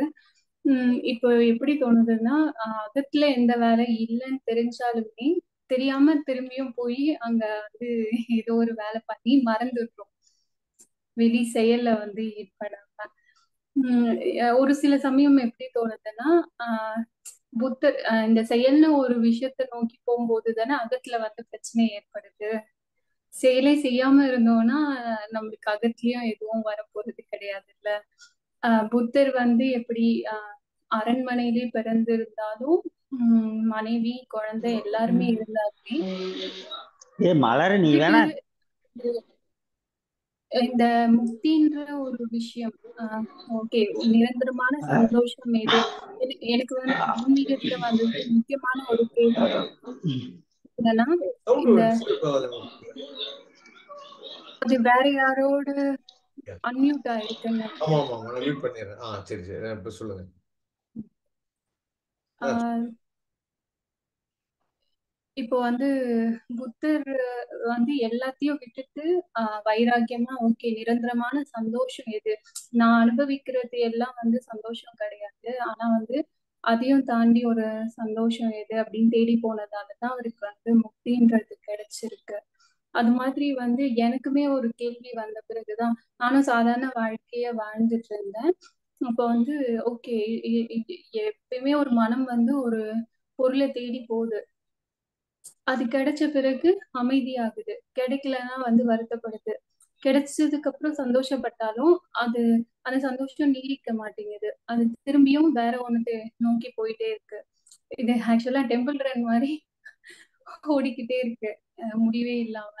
சோ அப்போ முடிவான ஒரு விஷயம் அதுவும் வந்து நம்ம வேற எங்கேயும் கேட்க வேண்டாம். அது நமக்குள்ளேயே இருக்கு. அங்க எல்லாமே அதுதான் அப்படின்ற ஒரு விஷயமும் புரியுது. சோ அப்படி இருக்கும்போது எதுக்காக ஆஹ் பேசாம வந்து ஆஹ் எந்த செயலுமே இல்லாம புத்தர் மாதிரி எல்லாத்தையும் தூக்கி போட்டுட்டு ஆஹ் அப்படி முக்தி மட்டுமே வந்து முழுமையா வச்சு முழுமையா வந்து இருக்கலாமான்ற மாதிரி இருக்குயா அதாவதுமா நீங்க கரெக்டு தான். முக்தியினுடைய பர்பஸே சிறப்பா செயல்படுறது தான் முக்தி கிடைச்ச விட்டு நீங்க சும்மா இருக்கலாமான்னு கேக்குறீங்க. உங்ககிட்ட வந்து வெளியில வெளியில சரியான ஒரு முழுமையான வாழ்வு வாழ்வதற்கான பயன்பாடே வந்து முக்தி தான் முக்தியினுடைய பயன்பாடே முழுமையான வாழ்க்கை வாழ்றது தான் ம். அந்த முக்தி கிடைச்ச விட்டு நீங்க செயல்படாம சும்மா முடங்கி போலாமான்னு ஏன் நினைக்கிறீங்க? அதனால இந்த புரிதலினுடைய பயன்பாடு என்னன்னா திறமையாகவும் தேவையை கரெக்டாக செயல்படுற மாதிரி வெளியில செயல்படுறது தான் உண்மையான பயன்பாடே. முக்தி புத்தர் வந்து அது தேடி போனாரு எல்லாத்தையும் விட்டுட்டு போனாரு. அது கிடைச்சபடி தான் அவரே ஃபீல் பண்றாரு. இது இது வந்து நம்ம எதையுமே துறக்க தேவையில்ல. நம்ம இது. குடும்ப வாழ்க்கையில் இருந்துட்டே கூட புரிஞ்சுக்கலாம் அப்படிங்கறத அதுக்கப்புறம் கண்டுபிடிக்கிறாரு அவரு. இன்னொன்னு ஒரு சில குருமார்களும் சொல்லியிருக்காங்க. நிறைய பேர் குடும்ப வாழ்க்கையில இருந்தும் முக்தி அடைஞ்சிருக்காங்க. அதான் இன்னொன்னு புத்தர் வந்து அவர் வந்து புதுசா ஒண்ணு கண்டுபிடிக்கல. ஏற்கனவே இயங்கிட்டு இருக்கிறத கண்டுபிடிக்கிறாரு. அது எல்லாத்துக்குமே இயங்கக்கூடிய ஒரு இயக்கம் தான் அது. எல்லாருடைய மனமும் அப்படிதான் இயங்குது.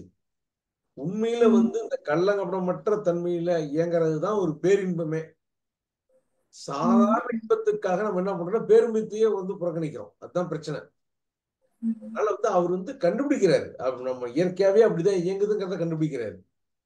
நம்ம சரியா இருக்கிறத சரி பண்ண வேண்டியது இல்லைன்னு சொல்லுவாங்க இல்லைங்களா? ஏற்கனவே சரியா இருக்கிறத சரி பண்ண வேண்டிய அவசியம் இல்லை. அங்க வேலை இல்லைங்கிறத புத்தர் கண்டுபிடிக்கிறாரு. புத்தர் அங்க வேலை இல்லைன்னு கண்டுபிடிச்சுட்டு எங்க வேலைன்னு நம்ம பார்க்கணும்? அவன் வச்சுட்டு சும்மா இருக்கிறதுக்காக நம்ம அப்படி இருக்கிறோம். வெளியில எத்தனையோ ஆக்கப்பூர்வமான வேலைகள் இருக்கு.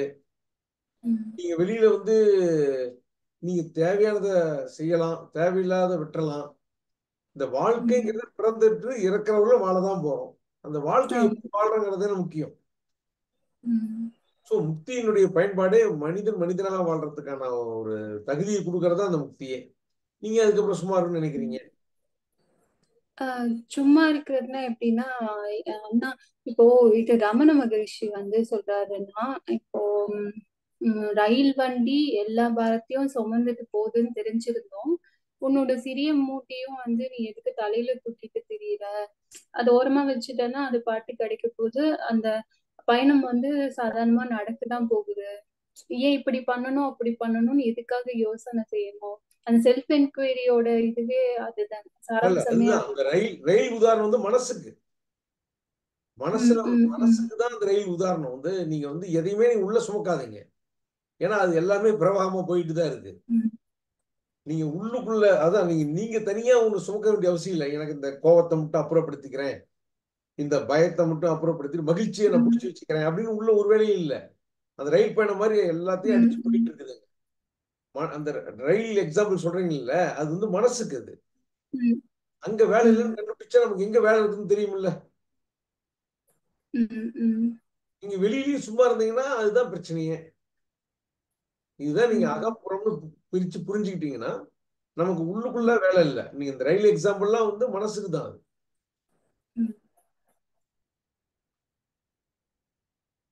சரிங்கண்ணா உங்களோட ஸ்பீச் அந்த இதெல்லாம் கேட்கும் போது அது புரி- புரியுதுன்னா அஹ் ரொம்ப வந்து அமைதியா காமா இருக்கு இருக்கு எல்லாம் இருக்கு.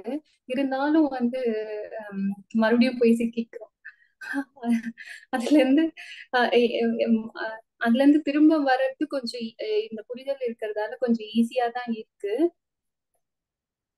இருந்தாலும் ஐயோ நம்ம என்னதான் புரிதல் இருந்தாலும் மறுபடியும் போய் சிக்கிக்க சிக்கிக்கிறோமே அது எல்லாமே ஓகே தான். நீங்க எது நடந்தாலுமே நமக்கு அங்க எந்த வேலையும் இல்லை. மனசை பொறுத்தவரையிலும். ஓகேங்களா? நமக்குடைய நம்ம நம்ம அறிவுக்கு தெரிஞ்சு செய்ய வேண்டிய வேலை வந்து புறம்தான். அது ஏற்கனவே பல தடவை நம்ம சொல்லியிருக்கிறோம். நம்ம அதாவது அறிவுக்கு ஒரு லேபிளே குத்திக்கிங்க. ஃபார் எக்ஸ்டர்னல் யூஸ் ஒன்லி மனசு அறிவை உள்ள கொண்டு போனாதான் சிக்கலே. இது சரி இது தப்பு இது நல்லது இது கெட்டது இது தேவை தேவையில்லைன்னு அறிவை உள்ள கொண்டு போனீங்கன்னா தான் எல்லா சிக்கலுமே. ம், அறியாம போயிட்டு அது பிரச்சனை கிடையாது. அறிஞ்ச விட்டு அறிவுக்கு அங்க வேலை இல்லை. அவ்வளவுதான். வெளியே தான் வேலை இருக்கு. வெளியே நல்லது இருக்குது கெட்டது இருக்குது. செய்ய வேண்டியது இருக்குது செய்யக்கூடாது இருக்குது. அதனால எல்லாமே அறிவுக்கான வேலையே வெளிதான் ஃபார் எக்ஸ்டர்னல் யூஸ் ஒன்லி சில ஆயின்மெண்ட் போட்டிருப்பாங்க இல்லைங்களா? வெளிப்பூச்சின்னு சொல்லி போடுவாங்கல்ல அது மாதிரி for external use only label. உள்ள அறிவுக்கு அங்க வேலையே கிடையாது. தரம் பிரிக்க வேண்டிய அவசியம் இல்லை நல்லது கெட்டது பிரிக்க வேண்டிய அவசியம் இல்லை. எல்லாத்தையுமே விட்டுருங்க. சரிங்க அண்ணா. Thank you thank you so much Guruveswar sir நம்ம கொஸ்டின்ஸ் எடுக்கலாமா? ரெண்டு ரெண்டு பேர் இருக்காங்க. இன்னும் ரெண்டு பேர் அதோட முடிச்சுக்கலாம் நிறுத்திடலாம் ஓகே. ஒன்பது நாற்பது ஆயிடுச்சு. இந்த ரெண்டு பேர்த்தோட முடிச்சுக்கணும் ரியல்மி நீங்க சொல்லுங்க. ரியல்மி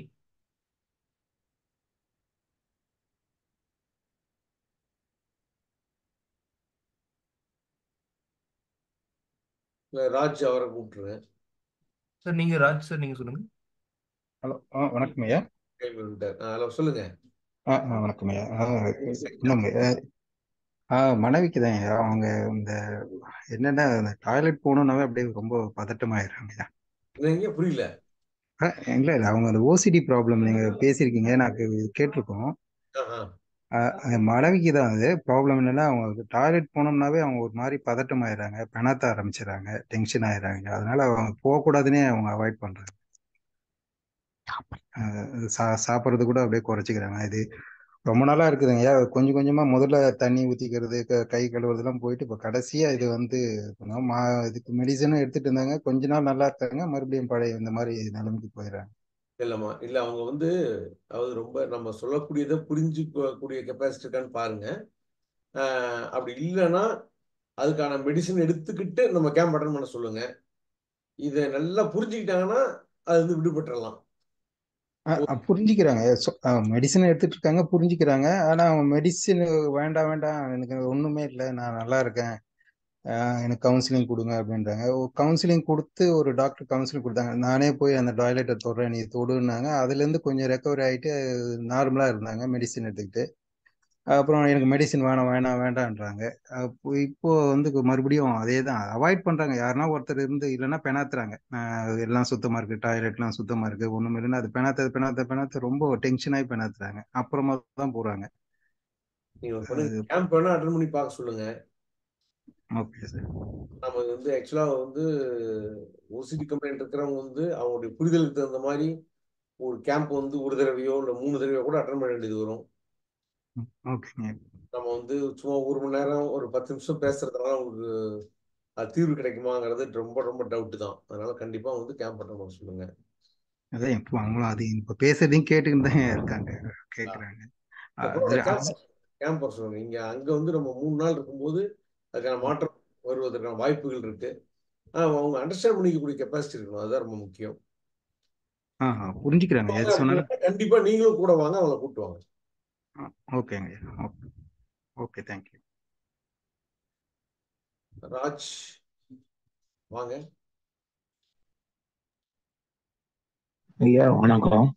வணக்கங்கய்யா ஆக்சுவலா வந்து நான் பேசிக்கலா கொஞ்சம் இன்ட்ரோவர்ட்டுங்க எதுவுமே ஜாஸ்தி பேச மாட்டேன். கூச்சப்படுவேன் ரொம்ப. அது எனக்கு ரொம்ப என்ன சொல்றது வளர்ச்சிக்கு வந்து ரொம்ப பாதிப்பா இருக்கு. யா- எந்த ஒரு விஷயம்னாலும் யார்கிட்டயாவது போய் கேட்டு கேட்டு செய்யற மாதிரி இருக்கு நம்ம செய்யலாமா? எனக்கே தெரியுது செய்யலான்னு. ஆனா வந்து ஒரு பயம் வருது. நம்ம போய் செஞ்சா தப்பாயிருமோ? அப்படின்னு சொல்லிட்டு நான் யார்கிட்டயாவது போய் கேட்டு கேட்டு செய்யறேன் ஹெல்ப் பண்றாங்க. பட் சில சமயம் வந்து மூஞ்சியை காமிச்சிடுறாங்க. ஏன் எல்லாத்துக்குமே வந்து நீ கேட்கற. அப்படின்னு சொல்லி எனக்கு வந்து ஒரு இண்டிபெண்டாவே வந்து செயல்படுறது வந்து கொஞ்சம் சின்ன வயசுல இருந்தே பயங்காட்டியே வளர்த்துட்டாங்க. அதனால அது கொஞ்சம் எனக்கு வந்து இன்னமும் தொடருது. அதுதான் எனக்கு இப்ப வளர்ந்துட்டா சரியாயிரும்னு நினைச்சேன். ஆனா வந்து ஃப்ரெண்ட்ஸும் ஜாஸ்தி கிடையாது. கொஞ்சம் இன்ட்ரோவர்ட்டுங்கிறனால நான் அளவா உங்களுக்கு தயக்கம் வந்து உங்க கேரக்டர்னு கூட வச்சுங்களேன் இயல்பு. உங்களுக்கு தயக்கம் பயம் இதெல்லாம் இருக்கு பாத்தீங்களா? இது வந்து இதுக்கு காரணம் நீங்க இல்ல உங்களுடைய இயல்புல இருந்து வெளிப்படுது அது நீங்க அது அப்படிதான் இருக்குங்கிறத பட் நீங்க வந்து தயக்கத்து பக்கத்துல திரும்பிடுறீங்க. ஏதாவது ஆயிடுமோ எனக்கு ஏன் இந்த பயம் வருது? இந்த கவனம் வந்து தயக்கத்தின் பக்கம் போயிடுது. அதுதான் இங்க பிரச்சனை ஓகே. நீங்க தயக்கம் வந்துட்டு போட்டோம். நீங்க உங்க கவனம் வந்து என்ன ஒரு செயல் செய்யணும் அப்படின்னா இந்த அறிவுபூர்வமா எப்படி நம்ம செய்யணும்? செயலை சிறப்பா பண்றதுக்கு என்ன பண்ணணும்? அப்படின்னு உங்க கவனமும் செயலும் ஒண்ணா ஆ மாறிடு அப்படி ஓகே மாறும்போது என்ன தயக்கமே உங்களுக்கு வந்து தயக்கம்ங்கிறது என்ன தப்பாயிட்டா என்ன பண்றதுங்கிற கூடிய ஒரு பயம் தானே அது. ஆமாங்க. அப்ப அந்த பயம் வந்து என்ன ஆகும் கேட்டீங்கன்னா அப்பதான் நீங்க கவனமா செய்ய ஆரம்பிப்பீங்க. ஒரு தடவை சக்சஸ் வச்சுங்களேன். ஒரு தப்பான தப்பாயிட்டு போட்டு மட்டும் அடுத்த தடவை நம்ம சரி பண்ணிக்கலாம். தப்பானா தப்பு எப்படி தப்பு இல்லாம பண்ண முடியும்னு பார்க்க முடியும் நம்ம. சரியாகும் போது என்ன உங்களுக்கு ஒரு கான்பிடென்ட் வரும். இப்ப நம்ம காரே ஓட்டுறோம் அப்படின்னா இப்பதான் நான் கத்துக்கிட்டேன். கார் ஓட்டும் போது நம்ம எடுத்தோடனே கார் ரொம்ப பயம் இல்லாம ஓட்டணும்னா என்ன ஆகும்? கண்டிப்பா அது ஆக்சிடென்டா தான் போகும். ஒரு பயம் வந்தாதான் நம்ம வந்து நல்லா கத்துக்கிட்டு பாத்தீங்கன்னா ஒரு வண்டிக்கு ஒரு வண்டிக்கும் ஒரு பக்கமா ஒரு அடி தூரத்துல கூட நான் வண்டி நிறுத்த முடியும்.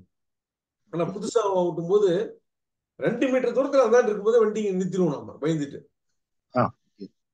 நம்ம வந்து அப்படி பயந்துட்டு போகும்போது கொஞ்சம் கேர்ஃபுல்லாகவும் ரெண்டு மீட்டர் மூணு மீட்டர் தூரத்துக்கு முன்னாடியே நிறுத்திட்டு ஓடுறோம்னு வச்சுங்களேன் போகும்போது போய் சேர்ந்துட்டோம்னா ஒரு நம்பிக்கை வரும். அடுத்த வேணா அதோட நல்லா ஓட்டுவோம். அது நீங்க வந்து செயல் பண்ண பண்ணதான் அந்த தயக்கங்கிறது தன்னால மறையும்.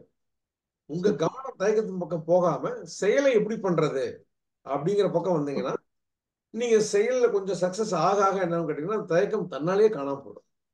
இப்ப நான் புதுசா ஓட்டும் போது இருந்த அந்த பயம் வந்து இப்ப நான் கார் ஓட்டும் போது வரது இல்லையே இப்ப பாருங்க நம்ம கார் ஓட்டும் போது ஒரு பாட்டு கேட்டு போறோம் வேற வேலையை பத்தி கூட திங்க் பண்ணிட்டு போறோம் ஏன்னு கேட்டீங்கன்னா நம்ம நல்ல ட்ரைனிங் எடுத்துட்டோம். ஸோ பயம் நமக்கு உதவி ஃபர்ஸ்ட் வந்து ட்ரைனிங் இல்லாதனால பயம் உதவிக்கு வருது. நீங்க ஆரம்பத்துல இருந்தே நீங்க பயத்தையே கவனிச்சிட்டு இருந்துட்டீங்க. உங்க தயக்கத்தையே தயக்கத்தின் பக்கமே திரும்பிட்டீங்க. இப்ப நீ தயக்கம் அப்படிதான் வரும். வந்துட்டு போகட்டும். பட் தயக்கம் ஏன் வருது? நம்ம தப்பா பண்ணிட்டா என்ன பண்றது தான் தய- தயக்கம் வருது. நீங்க செயலை கரெக்டா பண்ணணும்னு முடிவு பண்ணி செய்ய ஆரம்பிங்க. தயக்கத்தை ஃப்ரீயா விட்டுருங்க. சைட் டைப்பை ஃப்ரீயா விட்டுருங்க. நீங்க உங்க கவனம் செயல் பக்கம் போகட்டும் அப்ப பாருங்க இந்த தயக்கமே என்னன்னா உதவிக்கு வந்ததா மாறிடும். அடுத்து அந்த தயக்கம் உங்களை நீங்க ட்ரைனிங் ஆக ஆக தயக்கம் உங்களை விட்டு போயிடும். நீங்க எல்லாத்துக்குமே மத்தவங்களுடைய உதவியை நாடிக்கிட்டே இருந்தீங்கன்னு வச்சுங்களேன் நீங்க கோல் ஊனி நடக்கிற மாதிரி தான் அப்புறம் கோல்ல சிறந்த கோல் எதுன்னு நீங்க பெரிய கோலா எடுத்துக்க ஆரம்பிச்சுக்குவீங்க. நீங்க நீங்க சுயமா முடிவெடுத்து செய்யுங்க. தப்பானா பரவாயில்ல அடுத்து சரி பண்ணிக்கலாம். நீங்க செயல் பக்கம் திரும்பிடுங்க. திரும்ப ஆரம்பிச்சுன்னா அந்த தயக்கம்ங்கிறது நாளடைவில் எப்ப போச்சுன்னே உங்களுக்கு தெரியும் சரி. ரொம்ப நன்றிங்க. Okay okay. நம்ம க்ளோஸ் பண்ணிக்கலாம் நிறைய பண்ணிக்கலாங்களா? ஆ பண்ணிக்கலாம் சார். பண்ணிக்கலாம். வளர் வளர்மதின்னு ஒருத்தர் ஒரு ஒரே ஒருத்தங்க இருக்காங்க. அவங்க கேள்வியோட முடிச்சுக்குவோம். ஓகே. சார்? பேசுங்க மேடம். நான் ஒசூர்ல இருந்து வளர்மதி பேசுறேங்க சார். சரிம்மா. எனக்கு ஓசிடி இருக்கு. ம். உங்ககிட்ட பேசணும்னு நான் நான் நாலஞ்சு வாட்டி ட்ரை பண்ணேன்.